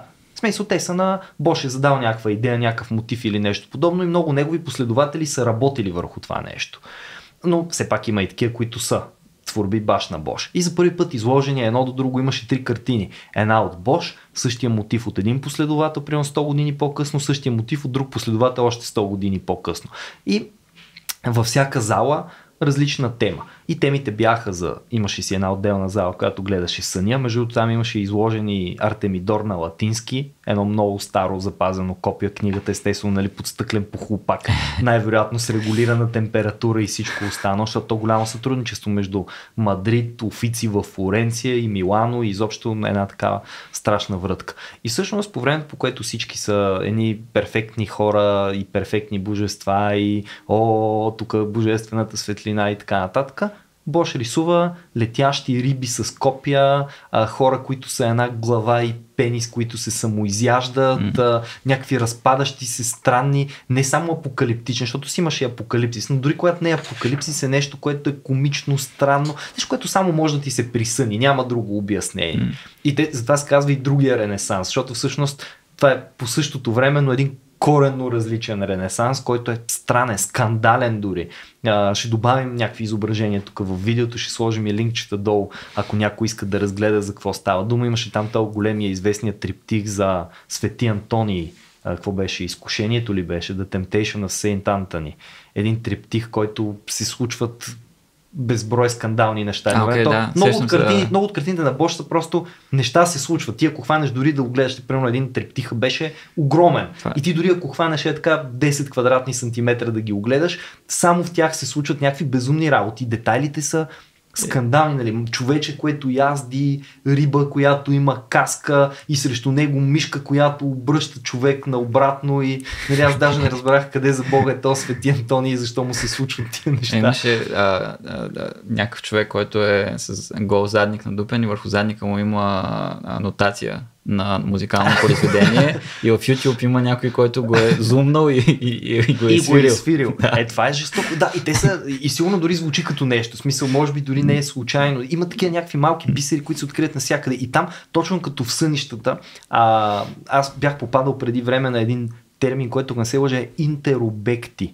Не okay. знам дали сте попадали. Не. Това е нещо, което се случва в сънищата и в картините на Бош. Нали? Това са двете места, в които може да го срещнете. Те и Брюгел и там следващите след Бош, които са, което е смесване на обекти. Нещо, което примерно е едновременно а, ключ и okay. тухла. Нали, а. някакси в, сънят има логика, в съня се появяват такива mm. интеробекти. И това е другото място, на което съм срещал аз интеробекти, е точно в този друг ренесанс. И то си е някаква контракултура. Вие представяте ли си всички, докато възхваляват Бога и така нататък, защото и той работи с сюжети, които са очевидно нали, Свети Антони, там покаяния, Армагедония, апокалипсиси, mm. каквото се сетите. Само, че той рисува нещо коренно различно, което изглежда като излязло от, даже не от кошмари, то просто излязло от това, което ти каза по-рано, Стефан, е пълния хаос, нали, mm-hmm. те просто предмети се смесват с живи същества, живи същества се смесват помежду си, нещо се случва и ти дори нямаш никаква представа защо и как то няма ред. Няма, има просто все едно е хрумно, тук ще сложа това, тук ще сложа това, тук ще сложа това и въпреки всичко изглеждат феноменално. И работи, да. Много съжалявам, че чак сега говорим за нея, защото тя прямо преди две седмици е приключила някъде към средата на март е била изложбата, но а, ще дам един линк, има много хубаво обяснение от там основните куратори от трите галерии, които са събирали предмети. Аз тогава всъщност си дадох за първ път сметка, защото много давна не бях мислил за съня. Точно жертва съм на това, което сега се случва. Ние имаме толкова много неща, които ни се които стават просто в ежедневието ни, че какви сънища, какви петля, какво ще говоря, сънищата ми вече не носят толкова голямо значение, така да се каже. Mm. В смисъл, аз съм ги обесценил лично, защото за сметка на тях имам някакви 600 канала в Reddit, YouTube и прочее, в които ме захранват с друга информация, mm. която е съвсем а, дискутируема. Аз искам да седнем и да си говорим сега тук за последните съдебни реформи или та простотия, която се случва в Бутан или нали, каквото и да е друго, но mm. защо бих ви разказал, че съм сънувал една огромна мраморна сграда, от която излизам и има някакъв човек след когото вървя, ама се не мога да го стигна, включително от сградата на километър от мен е просто един прав път и един мост и той точно пред мен излиза от сградата и в момента в който аз излизам от сградата, той е вече на другия край на моста и е една точка. Нали? То, това за мен е много интересен сън. Нали? Това е един от сънищата, които си спомням от по-последните ми години. И странен, мълчалив, самотен, точно мраморен и такъв соц фуая, едно си представете и тъна, ама какво като си говоря за това, виж кажете, абе, Наш какво стана днес? в парламента какво Много по-интересно е какво се случва все едно сега, тук навън, защото онова там е друга реалност. Ама то е дали друга реалност или е част от тая реалност. Или mm. тук ти ще кажеш за, как се казваш, Джоан Джо. Нали така, Джоан Джо, който сънувал, okay. че е Пеперуда yeah. и Пеперуда ли е, или Пеперуда, която сънува и там му се смесват реалностите yeah. и мамата си трак. Или, да. Mm. Еми, ето, явно ни а, предстои някаква романти... втора романтическа революция, в която ще си кажем, ами не, тук това, което се случва в а, тъмните ни дълбини, това, което е някаква дълбоката ни индивидуалност, има също толкова значение, като това, което се случва в а, Министерски съвет и в Польша и в а, а, Непал и така нататък. А, важно е нали, да, да обръща внимание на сънищата и не случайно нали, в романтизма сънищата играят а, в литературните произведения. Примерно страшно а, важна роля, да речем, да вземем а, Новалис, mm. а, немски романтик, там а, неговия роман Хайнрих фон Офтердинген, той започва с а, един сън, в който главният герой сънува някакво синьо цвете и той там нататък почва да го преследва това синьо цвете той иска да намери в живота си на свети, оттам нататък стават супер дивашки неща и той лека по лека израства като, като поет, всъщност защото е бил вдъхновен от тая, това супер красиво, съвършено синьо цвете, което е видял в съня си, иначе той е нали, син на някакви льолевци там и те му казват, не помня какво му казваха, ти, mm-hmm. ти ще станеш бизнесмен или нещо такова, но той не, не, аз ще гоня синьо цвете, ще ходя гоня синьо цвете. Да, а романтизма е пълен обаче и с кошмари. В смисъл такъв, там като че ли кошмара процъфтява наистина, защото ми се струва, че преди това кошмара е, нали, там, може би библейски кошмар, чат пат, е тук виждам на корицата на това mm. списание, което сме докарали, а, много готини, е, е, така ще го покажа в камерата да се види, това е а, как се казва, а, фрагмент от една неголяма картина на Албрехт Дюрер, а, която а, е свързана с един негов сън сънувала 1525 година. Това много ми направи впечатление, когато търсех изкуство свързано с сънищата и това е едно от първите неща, които ми попада и то наистина е много интересно. Той пише едно писмо, той е картина, една мъничка картина и отдолу писмо описание. Той пише, например, там 7 юни 1525 година, между сряда и четвъртък, 50 дни след Великден, сънувах ужасен кошмар, който е как ни огромни ам, количества вода се изливат като стълбове от небето и нали, тътена, който се разнася в момента, в който ударят земята. И той даже е много описателен. Той пише, че от толкова ам, високо се спускат, че се вижда как равномерно, бавно падат надолу. Значи толкова е високо, че те, въпреки че са гигантски, изглежда сякаш падат много бавно. И нали сънувал е, и то някакво апокалиптично събитие и се е събудил и после не е могъл да спим и е бил разстроен и с водните боички веднага е нарисувал точно това, което е сънувал и картината е страхотна, защото всъщност е, не е някакъв опит просто за интерпретация на сън и не е поредния алегоричен сън, нали? защото има един момент, в който се прекалява с това. Всеки сън пък да означава нещо. Дед викаш ти, що пък просто да не е някакъв сън, който е просто това, което е. И, и всъщност на, на Дюрер този сън се оказва нещо такова, в смисъл много по-реалистичен, много по- м- нормален сън, който всеки би могъл да сънува такова апокалиптично събитие. Дали лично, дали глобално. Ето той е сънувал глобално. Ето имаме някакви анклави все пак, въпреки че примерно ти не се интересуваш от а, сънищата си, а, се интересуваш от странното, от изчанчена литература, от изчанчени а, произведения на изкуството, което е някакъв достъп до това, в крайна сметка, което все още не можем да си обясним, да избегнем от тая иллюзия, че нещата вече са обяснени. Като казахте за потенциалния нов романтизъм за сънищата, всъщност дали няма, дали няма, Да, новите романтици. Движение нов романтизъм. Дали няма, 44. няма, няма някакъв момент, в който може, то може, мисля, че го има пак няколко автори това а, и да кажем в източните философии, до, а, че всъщност ня, до някъде се срещат идеи от типа, че всъщност так, всичко така иначе е сън. А, mm-hmm. И всички сънуваме и трябва да се бъдем нали, от а, този сън. И пак, пак Девид Линч нали, също с завеси и така нататък, които използва а, за това да покаже, че някаква реалност не е, може би, реалната реалност. А, и, но пак, а, като споменах Девет Линч, исках само да дам пример с един сън от Twin Peaks, който той разказва трети сезон, защото е много добър пример. Той разказва как сънува сън с Моника Белучи. Ага. Лин... Моника Белучи. Чакай се, кой разказва? Линч? Герой на Девид Линч а, okay, в Twin Peaks в третия okay. сезон. Добре. Гордон Кол разказва как сънува Моника Белучи и Моника Белучи в, сън, в този сън а, му цитира ако не се лъжи нещо от Упанишадите, от а, тази ведическа литература, която гласи, а, не са пред, проверих, тези точно не са преверени на български, но това, което казва тя на Дейвид Линч в съня е нещо от рода на ние сме като този, който сънува и след това живее в съня. И накрая го пита, но кой сънува? Ага. И героя на Линч се, Горен Кол се обръща назад, един вид към камерата и след, след това а, показва сцена от по-стара сцена от Twin Peaks от първите а, okay. кад, първи, то не е точно сериал, защото даже не, не се включва в сериала, но а, сцена от първите а, записи на Twin Peaks mm-hmm. преди 30 mm-hmm. години. Та един вид той вижда себе си, как е сънуващия. Okay. А, И, и аз си представям, че това навлизане на източни, не само може би дори източни, също до някаква степен дори го виждам. Има някакъв New Age така ренесанс а, в момента повлиян от това. Може би ще продължи. Дали точно ще се получи този нов романтизъм, не знам. Нова но, езическа партия в, но, в най-лошия случай. Минимума. Спане в а, парламента. Но, Спане в парламента. Да, като кажеш парламента... Те сега спят доста там, между другото. Да, беше интересно дали се записват после. Като казваш парламента и пак това, което се говорим по за хаоса и реда, попаднах пък а, на един доклад на Държавна сигурност за някакъв човек, който е сънувал някакъв сън. И сега ще го прочета. Чакай, доклад на държавна сигурност за сън. Ами нещо такова, да. Между това, това е супер... Тоест, да. някой в държавна сигурност е преценил, че съня на някакво mm-hmm. лице а, Асен Владимиров Топалски в случая. Записва ли се и Е, нали, довел до някакви, а, може би, не. потенциално опасни а, действия. Супер странно, че говориш това, между другото, защото аз оня ден, буквално оня ден слушах подкаст а, с Мартин Димитров. А, да, да, да, да това е който е... разказваше точно, че това, кое, държавна да. сигурност е събирала сънища. Мартин Димитров е въпросния учен, чиято статия ще цитирам, но а, самия доклад от държавна сигурност гласи следното.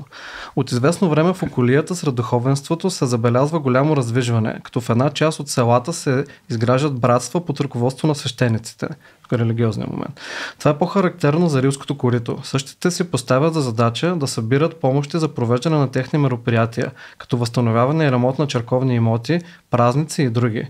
Организират разни екскурзии до Рилския, Бачковския и други манастири. Във връзка с Великденските празници проведоха акции за събиране на помощи за Рилския манастир. Така лицето Асен Владимиров Топалски на 38 години, безпартиен, има болно дете от дълги години от село Пороминово, пуснал слух, че е сънувал, че трябвало да се съберат средства за закупуване на теле и подаряване на Рилския манастир. Жена му започва събирането на помощи и слуха се пренася в другите села в Рилското корито. Слуха стига до там, че започва да се коментира, че трябва да се събират помощи, защото на втория ден на Великден ще стане потоп война. Каквото значи потоп война и така нататък. След като събира парите, закупуват телето в село Рила за 1500 лева, не съм сигурен точно, това, е, точно колко в сегашната бъде това, и го изпращат на манастира. Телето се закупува от Стефан Г. Лютов, това е доклад на държавна сигурност, все пак да, да, да, е купил да, телето, да. кой какво е сънувал. Бивш цънковист, сега безпартиен, но вражески настроен към властта на 60 години, частник и Кирил Лазов Калайджийски безпартиен, много вярващ. Член на ТКЗС на 65 години.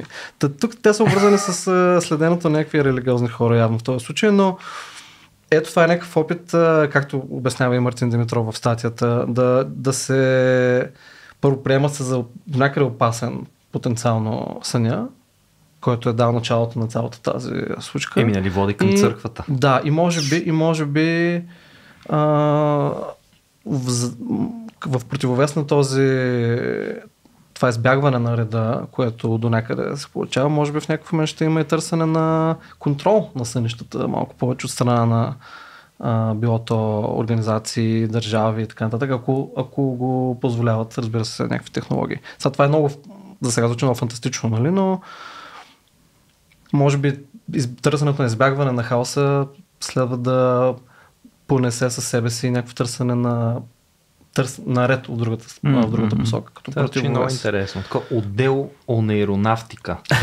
Плуващите в сънища полицаи. Просто си ги представят. Аре, момчета, днес сме тук на един от Пазарджик в съня, примерно. Цака е. Влиза сме на човека в съни. Е, леле, то тук сънува едни триъгълници много е, странни. Инсепшн.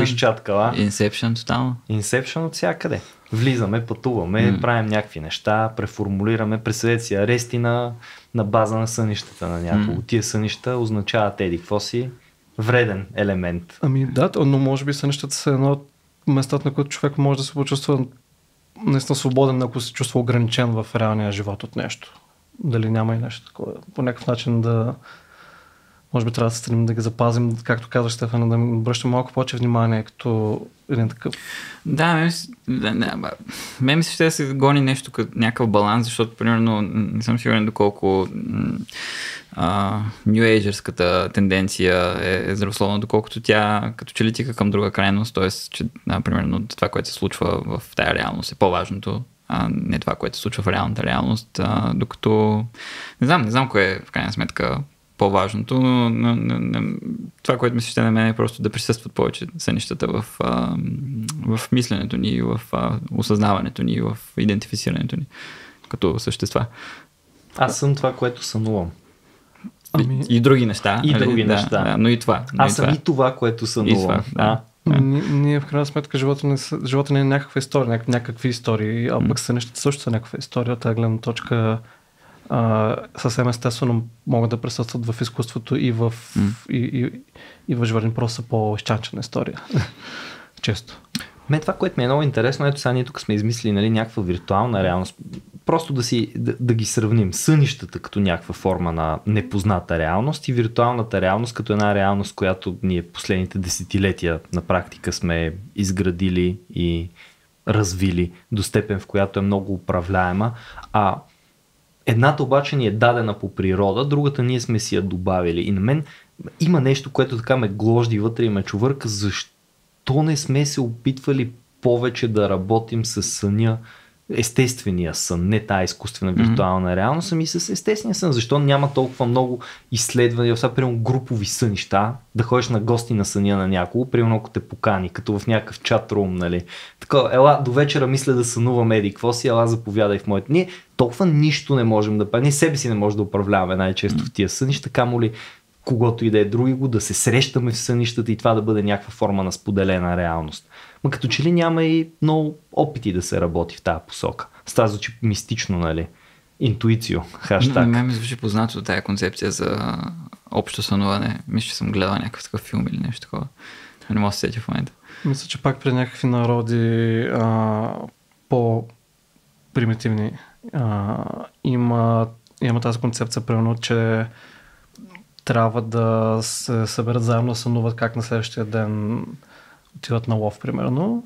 Ага, за да им върви. И, да, mm-hmm. да им върви нещо от род.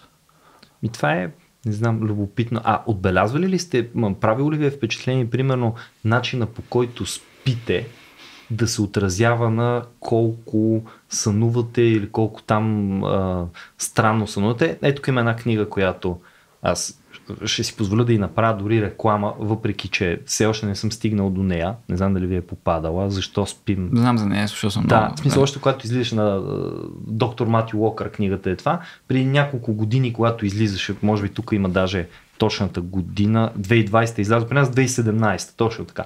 Беше страшен хит, защото а, Матю Уокър а, е невроучен, нали, работи с мозъка, изследвания, на които вярваме. Нали, ако беше тук някакъв мистик Артемидор Далдиански, щяхме да кажем, а, бягай глупости тук, защо спим, какво спим и така нататък, но той изследва по начин, който ни харесва, по научен начин и, и хубаво ни обяснява как мозъка, емоциите, женевето ни, са ни свързани с съня. Включително дава съвети, между другото, много интересно в книгата, как да спим по-добре.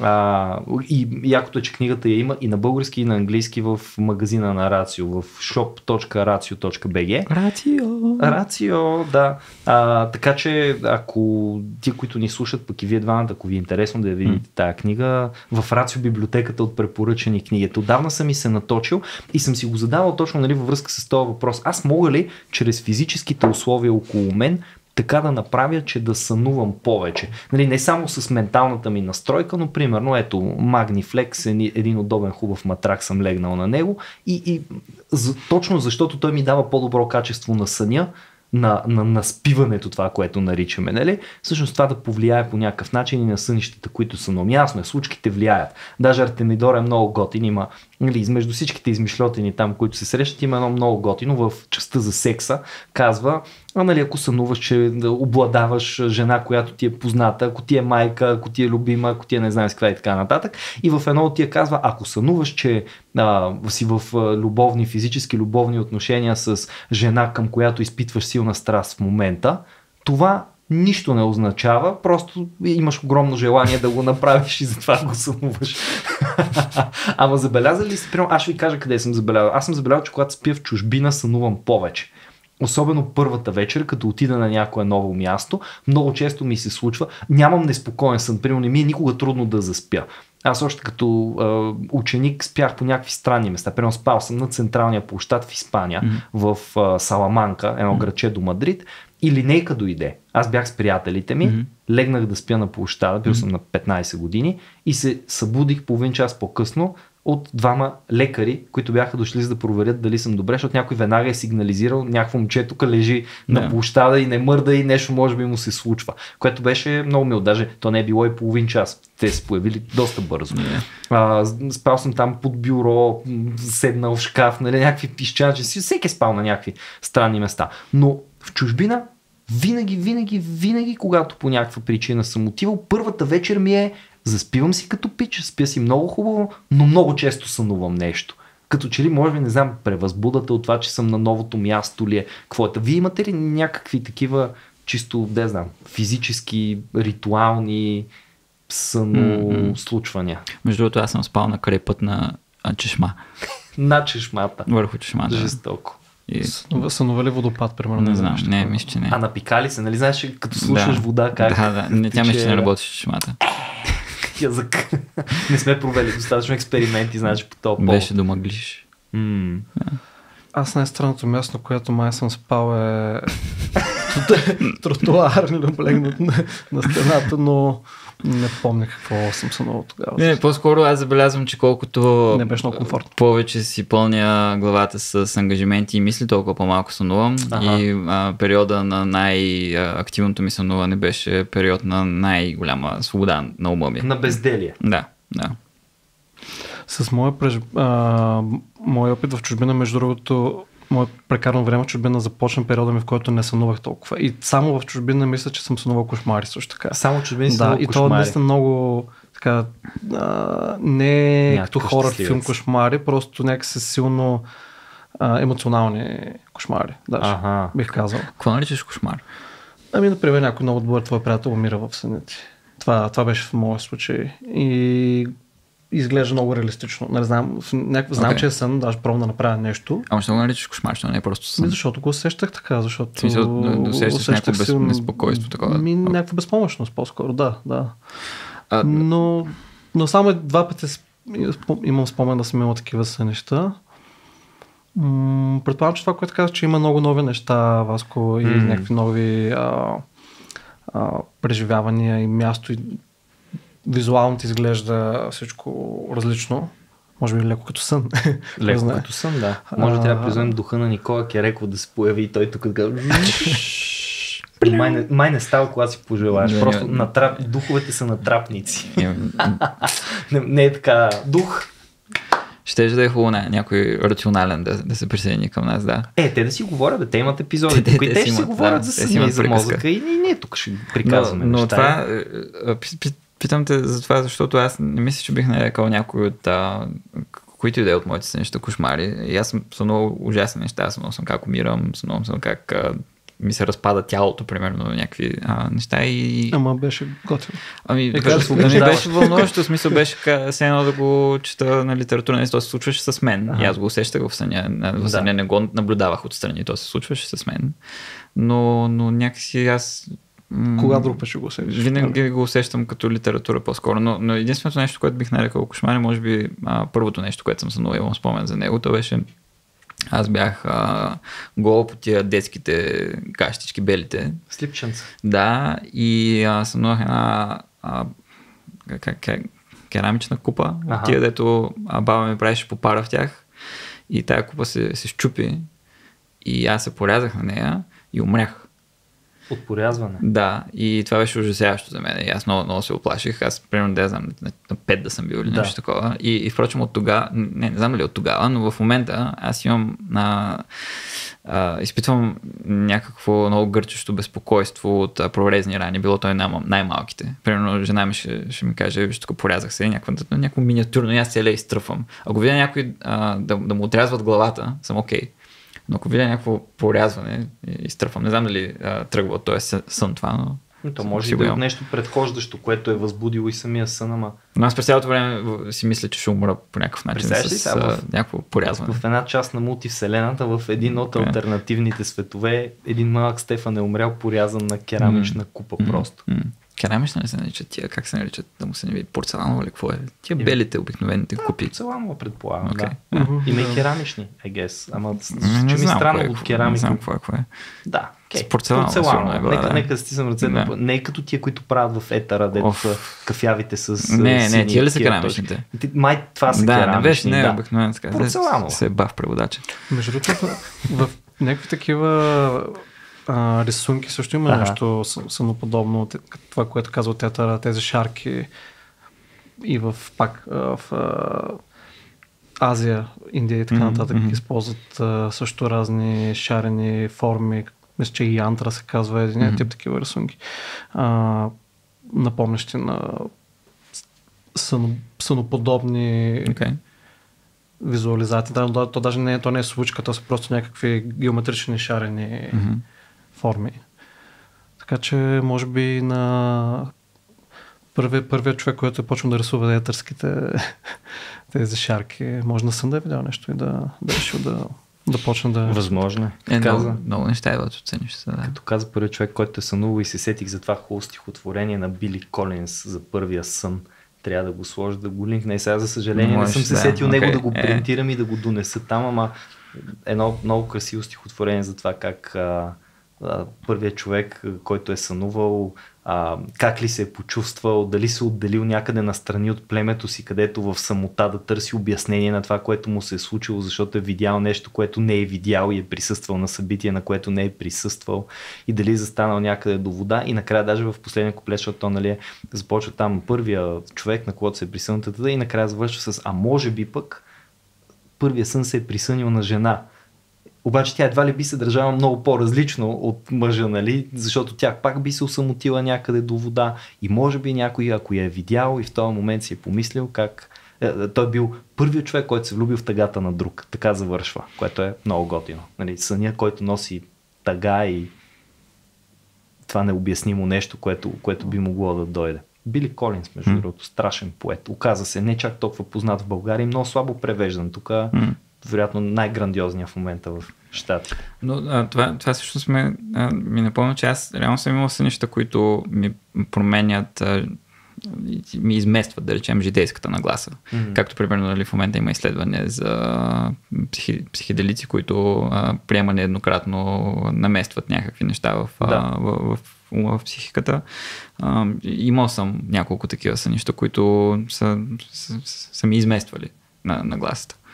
Защо? В смисъл, даде си сметка за нещо, което... Сънят ти ти подсказа нещо, което ти си искал да си кажеш и си си го казал чрез него или... Защото аз съм имал един такъв сън. Да, може би се. А, примерно се. Не мога да, да съм конкретен за жалост, но а, да се, се случва нещо, което съм си казвал. Да, то се тая дали това ще се случи. Да речем, изгубвам нещо. Да. И това нещо аз не съм го ценял, да речем. А, и не съм го изгубвам. И изведнъж се чувствам а, ужасно е мека дума за, за това, което изпитвам на сън. И събуждайки се, осъзнавам, че, че, Всъщност не искаш да го изгубваш. че не искам да го изгубвам и това ми променя нали, цялата житейска нагласа, защото не става просто за някакъв предмет или някакъв човек, а нещо по-така абстрактно.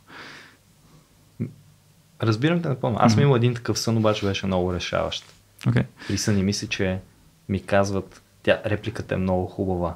Ти никога не правиш каквото трябва, само побиваш своите кръстове. Все още не съм сигурен това гробовно ли е, а, че се правя на жертва ли е било или какво е било. Аз не, нямам усещането като да съм се правил на жертва Виж каква хубава литература е това човек. Обаче страхотно е, смисъл толкова е добро, нали, то беше в една зала, аз бях студентски съвет, тогава бях студент и нали заед с 1500 неща и за пореден път уморен и вече от един ангажимент с друг ангажимент и влизам с закъснение и всички са седнали на една безкрайно дълга маса.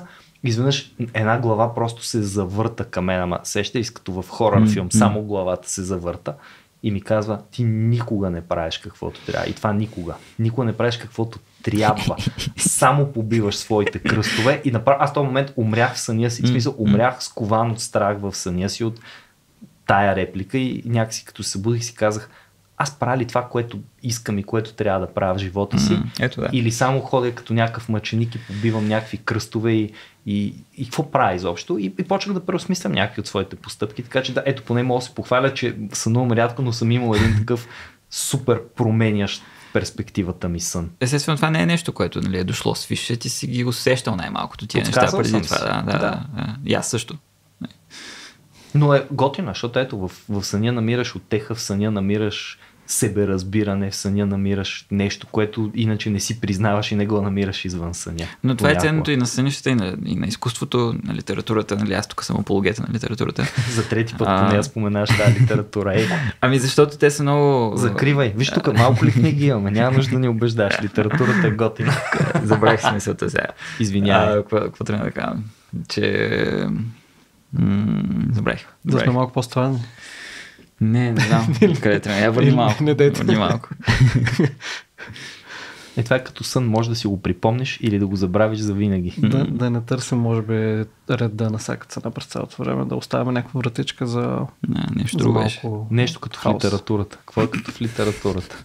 Апологета ти на литературата. Ти показа преди това. Еми, Какво подаде? Да, знам, да. Не знам, подадох ти нещо, ама да. не също, да Това, което каза по-рано за Стефан е, че може би не трябва да интерпретираме всички сънища. Mm.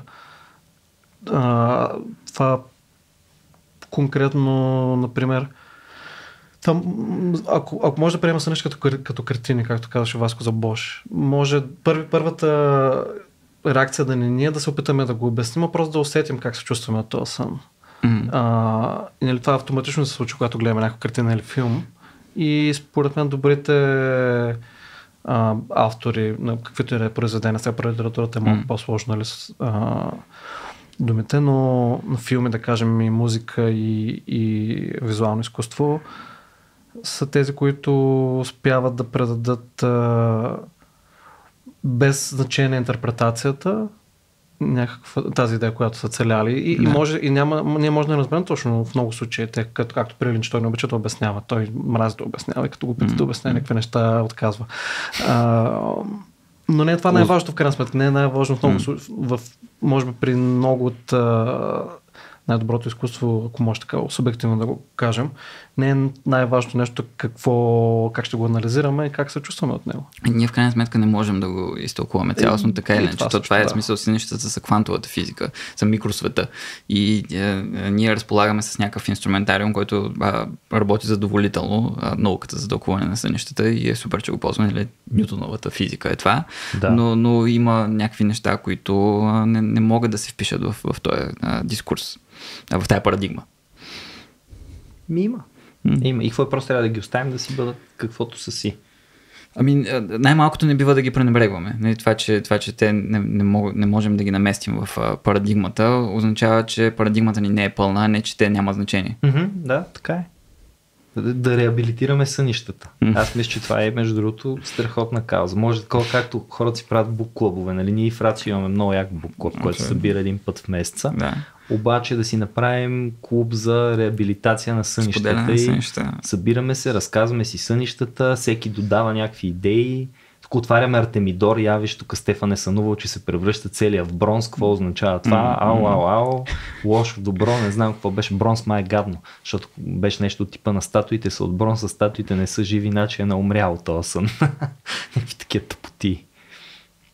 Е, гадания де, няма да ги То, И точно това е задоволителното в сънища, защото mm. ли, а, литературата сега, нали, с изключения, сега тук ще кажа нещо лошо за литературата, е, е, че а, м- сега, нали, винаги някой така, почти винаги някой разумно е измислил някаква история и тя се вписва малко или много в парадигмата. Обаче сънищата са what и, и те, те са достъпа до, до, до именно това, до което все още а, нямаме, за което все още нямаме обяснение. То е там, и е хубаво да, да зачитаме неговото съществуване. Mm-hmm. Необяснимото в света и в, в нас самите. Пак като каза, за, че някой измислил тази история за литературата, се сети за Борос, който пък експериментира с катъп техниката, като нарязва разни фрази и думички и ги събира после по други okay, yeah. по, по-случайни принципи и се получава нещо, което звучи като кохерентно граматически uh-huh. а, изречение или текст но супер хаотично и mm. може би леко самоподобно, наистина. Yeah, yeah. А, и Дейвид Боуи е вдъхновен също от Барос и други хора на изкуството пробват, а, примерно да пишат песни, текстове на песни с тази техника. Mm. А, Дейвид Боу имаше една много любима моя песен The Bewley Brothers, The Bewley Brothers която да. е, чието текст е написан така и той е много красив текст, но не може да го обясни човек, ако mm. а, тръгне той като някаква приказка, която а, всяка една секунда случва се нещо и вече е съвсем различна, на следващата дума е на съвсем различна вселена, mm. посока и така нататък. И не знам, за мен е много красиво по някакъв точно необясним начин. А, като сън. Mm. Аз това харесвам в магическия реализъм. Да се върна full circle до първото нещо, което казах за това, че съм много магически реализъм. Много път съм си задавал въпроса, защо харесвам Мураками, защо Борхес ми е интересен. Е, сега съм хванал да чета за първи път Салман Рожди hmm. по препоръка, много скъпа препоръка, че ще ми хареса. Фафа. Uh, Midnight's Children okay. на английски ми я дадоха, така че не знам, децата на полунощ ли как е Среднощни преведен. деца. Среднощни деца, супер хубав превод. Mm. Uh, и сънищата са точно това. И, и същото нещо харесвам в тях, което харесвам и в тия книги. А, кой беше? Нил Гейман ли беше казал, че живота е по-странен от а, измислените истории, защото за разлика от тях той няма нужда да се подчинява на някакви правила, т.е. той няма нужда от логиката. Ми сънищата още по-малко имат нужда от логиката, а всъщност и тия автори, които изборих и много други, пишат по начин, който историите им нямат задоволителен завършек, не се подчиняват на правилата на писане или разказване на история. Няма да имаш завръзка в началото, нещо да се случи, развитие, накрая кулминация и след нея може би още нещо, ако изобщо имаш а, а, просто неща се случват, описателно е, интересно е, в един момент просто приключва. Yeah. А, бях взел да чета Адолфо Биой Касарес. Е, сега скоро са превели ново. Аржентински автор, пак много добър приятел на Борхес. Заедно пишат. Сега виждам защо е по-малко известен от Борхес. Няколко разказа вътре в него, но спокойно някои от тях могат да минат за, за написани от Борхес, ако не знаеш кой ги е написал. Пак е ни странни неща. Един човек лети с един самолет, пък самолета му се разбива, те го арестуват и той се бужда в болницата арестуван и обяснява mm. кой е откъде е изведнъж се оказва, че той не съществува и че лъжи и те го мислят за шпионин, защото е попаднал в альтернативна вселена, в която примерно Шотландия не съществува, а неговия прадядо е бил шотландец и в този смисъл и той не съществува. Обаче той това го хваща от някакъв много малък детайл, защото прави някаква препратка, която никой не разбира в болницата и по-късно чак включва, че и това е препратка към нещо шотландско. Сега говоря малко на Изус, не спомням mm. дали беше шотландско, че го четох преди време, но беше такова интересно. Няколко пъти пътува с самолет и се се озовава в различни нали, альтернативни реалности, където пък се има някакъв проблем с него. И, нали, едно такова необяснимо, хем истинско, хем необяснимо. Нали. Всички други хора съществуват там на това място, обаче са различни хора от тия, които той познава. Аз си представям, че такъв би бил света, ако просто изпаднеш в кома за 5 години и се събудиш и всичко около теб и всички около теб толкова ще са мръднали на някъде, защото в момента скоростта е пух, пух, пух, пух, пух, пух, че просто ще бъдеш все едно се събудил в нов свят. И затова и на затворниците хич не им завиждам по ред причини, но една от тях е, че ти за да прекараш хикс години в затвора, които не са една, две, три години, ми 5, 7, 10 години в затвора. Представяш 15 години в затвора. Влизаш 2015, една относително лежерна година и излизаш 2030, дето и ние сега нямаме, идея си нямаме какво ще стане тогава. Mm. Рей Курцвел твърди, че ще имаме по-добър изкуствен интелект там. General Artificial Intelligence, общи изкуствен интелект. Mm. Пък дали ще имаме, ще имаме след 7 години. Между другото, вчера бяхме една документална постановка за точно в която бяха интервюрали затворници и представяха на по време на постановката реални думи и истории на, на затворници. Ти как се чувстваше докато четеше съновидения? Така, а, защото а, сега, нали, аз през цялото време а, говоря колко са яки са нещата и колко, mm. и колко литературно потенциално си. Обаче, ако си представя, че седна да чета чужди сънища и чета в продължение на 2 часа, ще, ще ми стане много тегло, може би ще, ще ми почне да ми липсва а, някаква все пак а, структура, някаква разумна нишка. Ти как се чувстваш докато... Защото, примерно, аз сещам един сборник, който чета mm-hmm. китайски, който е първата китайска така художествена проза се води, писан, а, не знам, може би втори, трети век, нещо такова. Те са събрани истории, човека е обикалял Китай и е събирал странни истории. И са едни съвсем а, кратички истории, които са сами по себе си са страхотни обаче той сборник е към 400 страници и аз го чета от около 8 години, защото просто не мога да прочета повече от 3 наведнъж, да, да, да, да. дотягаме. Няма контекст. И, иначе са страхотни. И сами по себе си. По същия начин. Okay. Четох я да. много бавно тази да. книга, на малки порции, тук примерно сега ще прочета за частите на тялото, mm. като виждам, че ми стане досадно, просто го зарязвам. Аз по принцип с разкази такива къси, най-късите формати, микроразкази дори mm. да ги наречем, имам сериозен проблем, защото просто не ми е интересно. Аз искам увлекателна история, искам им по-сериозен наратив. Тия малките са, да, но са любопитни са от гледна точка на човърка на мозъка. Аз пак връщам към това, което казах за картите Таро и човека, който mm. го използва като интроспекция. Всъщност, много пъти, докато съм чел тук съногаданията, точно по този начин съм ги чел. Тоест, а, виж, тук човек е измислил, помислил е, седнал е, помислил и е намерил някаква връзка, която да звучи разумна, да го обясни нали, това mm. нещо. Един човек сънувал, те, между другото, историите са хиперкратки, защото обикновено казва, когато сънуваш yeah. бамия, това означава еди какво си еди, що си и после. Един човек, например, имаше дето сънува бамия и т.т. Имаш, примерно. Един човек сънува, че баща му умира в пожар. М- малко по-късно самия той умря в пожар. Това е защото бащата символизира мъжката сила и тъй като той е бил единствен син и а, не е имал и мъжки чеда, всъщност баща му е символизирал него самия като силния мъж в семейството и затова той е изгорял. Не, между това е история, към която Юнг отпраща, okay. когато пък говори за нещо друго много интересно. Аз затова двете не случайно ги взех заедно, защото просто като видях кореспонденцията, леката между тях, ми стана много хубаво. Юнг преразказва този син, за който, този сън, в който син сънувал как баща му умира в пожар и самият той умрял в пожар.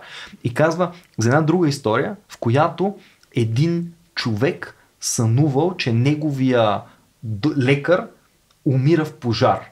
И това се случило по същото време горе-долу, когато лекаря бил прият в болница, mm-hmm. защото имал някаква, някакво заболяване, а, възпалително, горящо, което той нарича флегма, ако не се лъжа, а, mm, нещо такова. Yeah. А пък думата, която Артемидор използва за пожара е флегма също. Mm-hmm. И всъщност Юнг казва, ето този човек, несъзнаваното, му е подсказало, че неговия лекар е бил болен от това нещо и е умирал, човека не го е съзнавал. Някъде там знаците са останали невидими за неговото съзнание, но нещо в него, това несъзнавано, е успяло да ги разчете тия знаци и затова му е изпратил този сън, който изглежда пророчески, ама той не е, той може да бъде обяснен с това, че някаква част там от него е успяла да хване символите на това, че лекаря му е болен, горе-долу, когато лекаря му се е разболял на практика.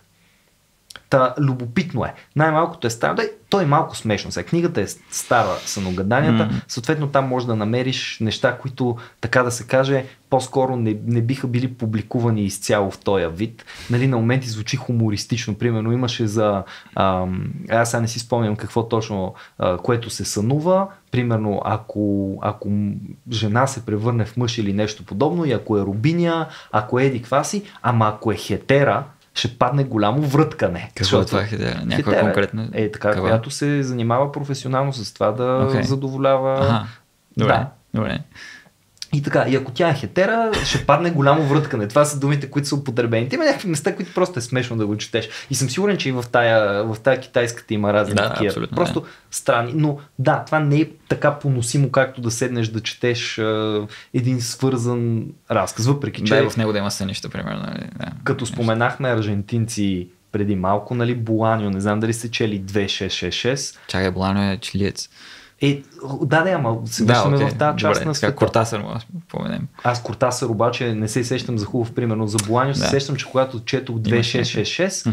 беше мъка, все едно, че аз даже не съм го дочел, спрях в един момент, в момента mm. съм в пауза от него и ще го продължа. Спомням си какво е станало, но ще го продължа по Аз съм чувал, че втор... не съм го чел, но съм чувал, че втората част е тегава. Много тегава. да. Ама то наистина е много.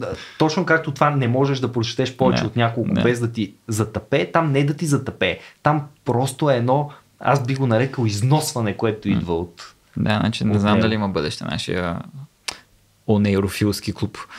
Еми, дано да има. Не. Не знам. Но на мен ми е много, а, на мен ми е много интересно да, да слушам сънищата на приятели най-малко и на близките си. Разказват ли ти сънища? Ми от време на време, да. Съпругата ми ми разказва и ми е много ценно. А, че, че изобщо тя си спомня и разказва. Това е, това е много важно, че ти, тя, в смисъл, mm. радвам се за нея, че, че го прави това. Да. А, и аз се опитвам, доколкото си ги спомням, напоследък все по-малко, за жалост. Но да, ето, тук призовавам, разказвайте сънищата на близките си. Това е, това е ценна информация, нали така? Ако мога да препратя към нещо, което ние ще разберем. Ами, добре, аз мога да отправя, така, да отправя един последен призив и то е спете добре. Аз голяма част от 30 годишния си живот съм унищожил в неспане. Обвинявах юридическия факултет, но истината е, че мога да обвиня само себе си и лошите условия, в които съм се поставил. За сметка на това, ако искате да се поставите в добри условия, можете да видите в а, сайта на Magniflex или пък в техния шоурум, имат шоурум в София, също така продуктите им се предлагат в над 300 магазина, та партньорска мрежа, голяма. А, супер удобни матраци, над 60 години опит в това да правят съня по-добър. Какво да ви кажа? Може би нашите приказки също са не лоши за приспиване, но друго си е да спите не върху чешма в шкаф или на тротуара облегнати на стената, ами на нещо, което е направено за да спите добре. А пък ние в епизода, а, някъде отдолу в описанието, ще оставим и един маничък подарък от тях, код за допълнителна отстъпка, ако решите да си купите. Трябва да пуснат унейрогенна линия матраци. Ами да, и, и такива матраци, които лягаме всички и сънуваме споделени сънища. Примерно. Е, това, ето това ще бъде бъдещето, е, според мен. И би било гениално. Пожелавам им го от сърце и благодарим естествено за подкрепата а, през месеца на мозъка, в който си говорим и за съня.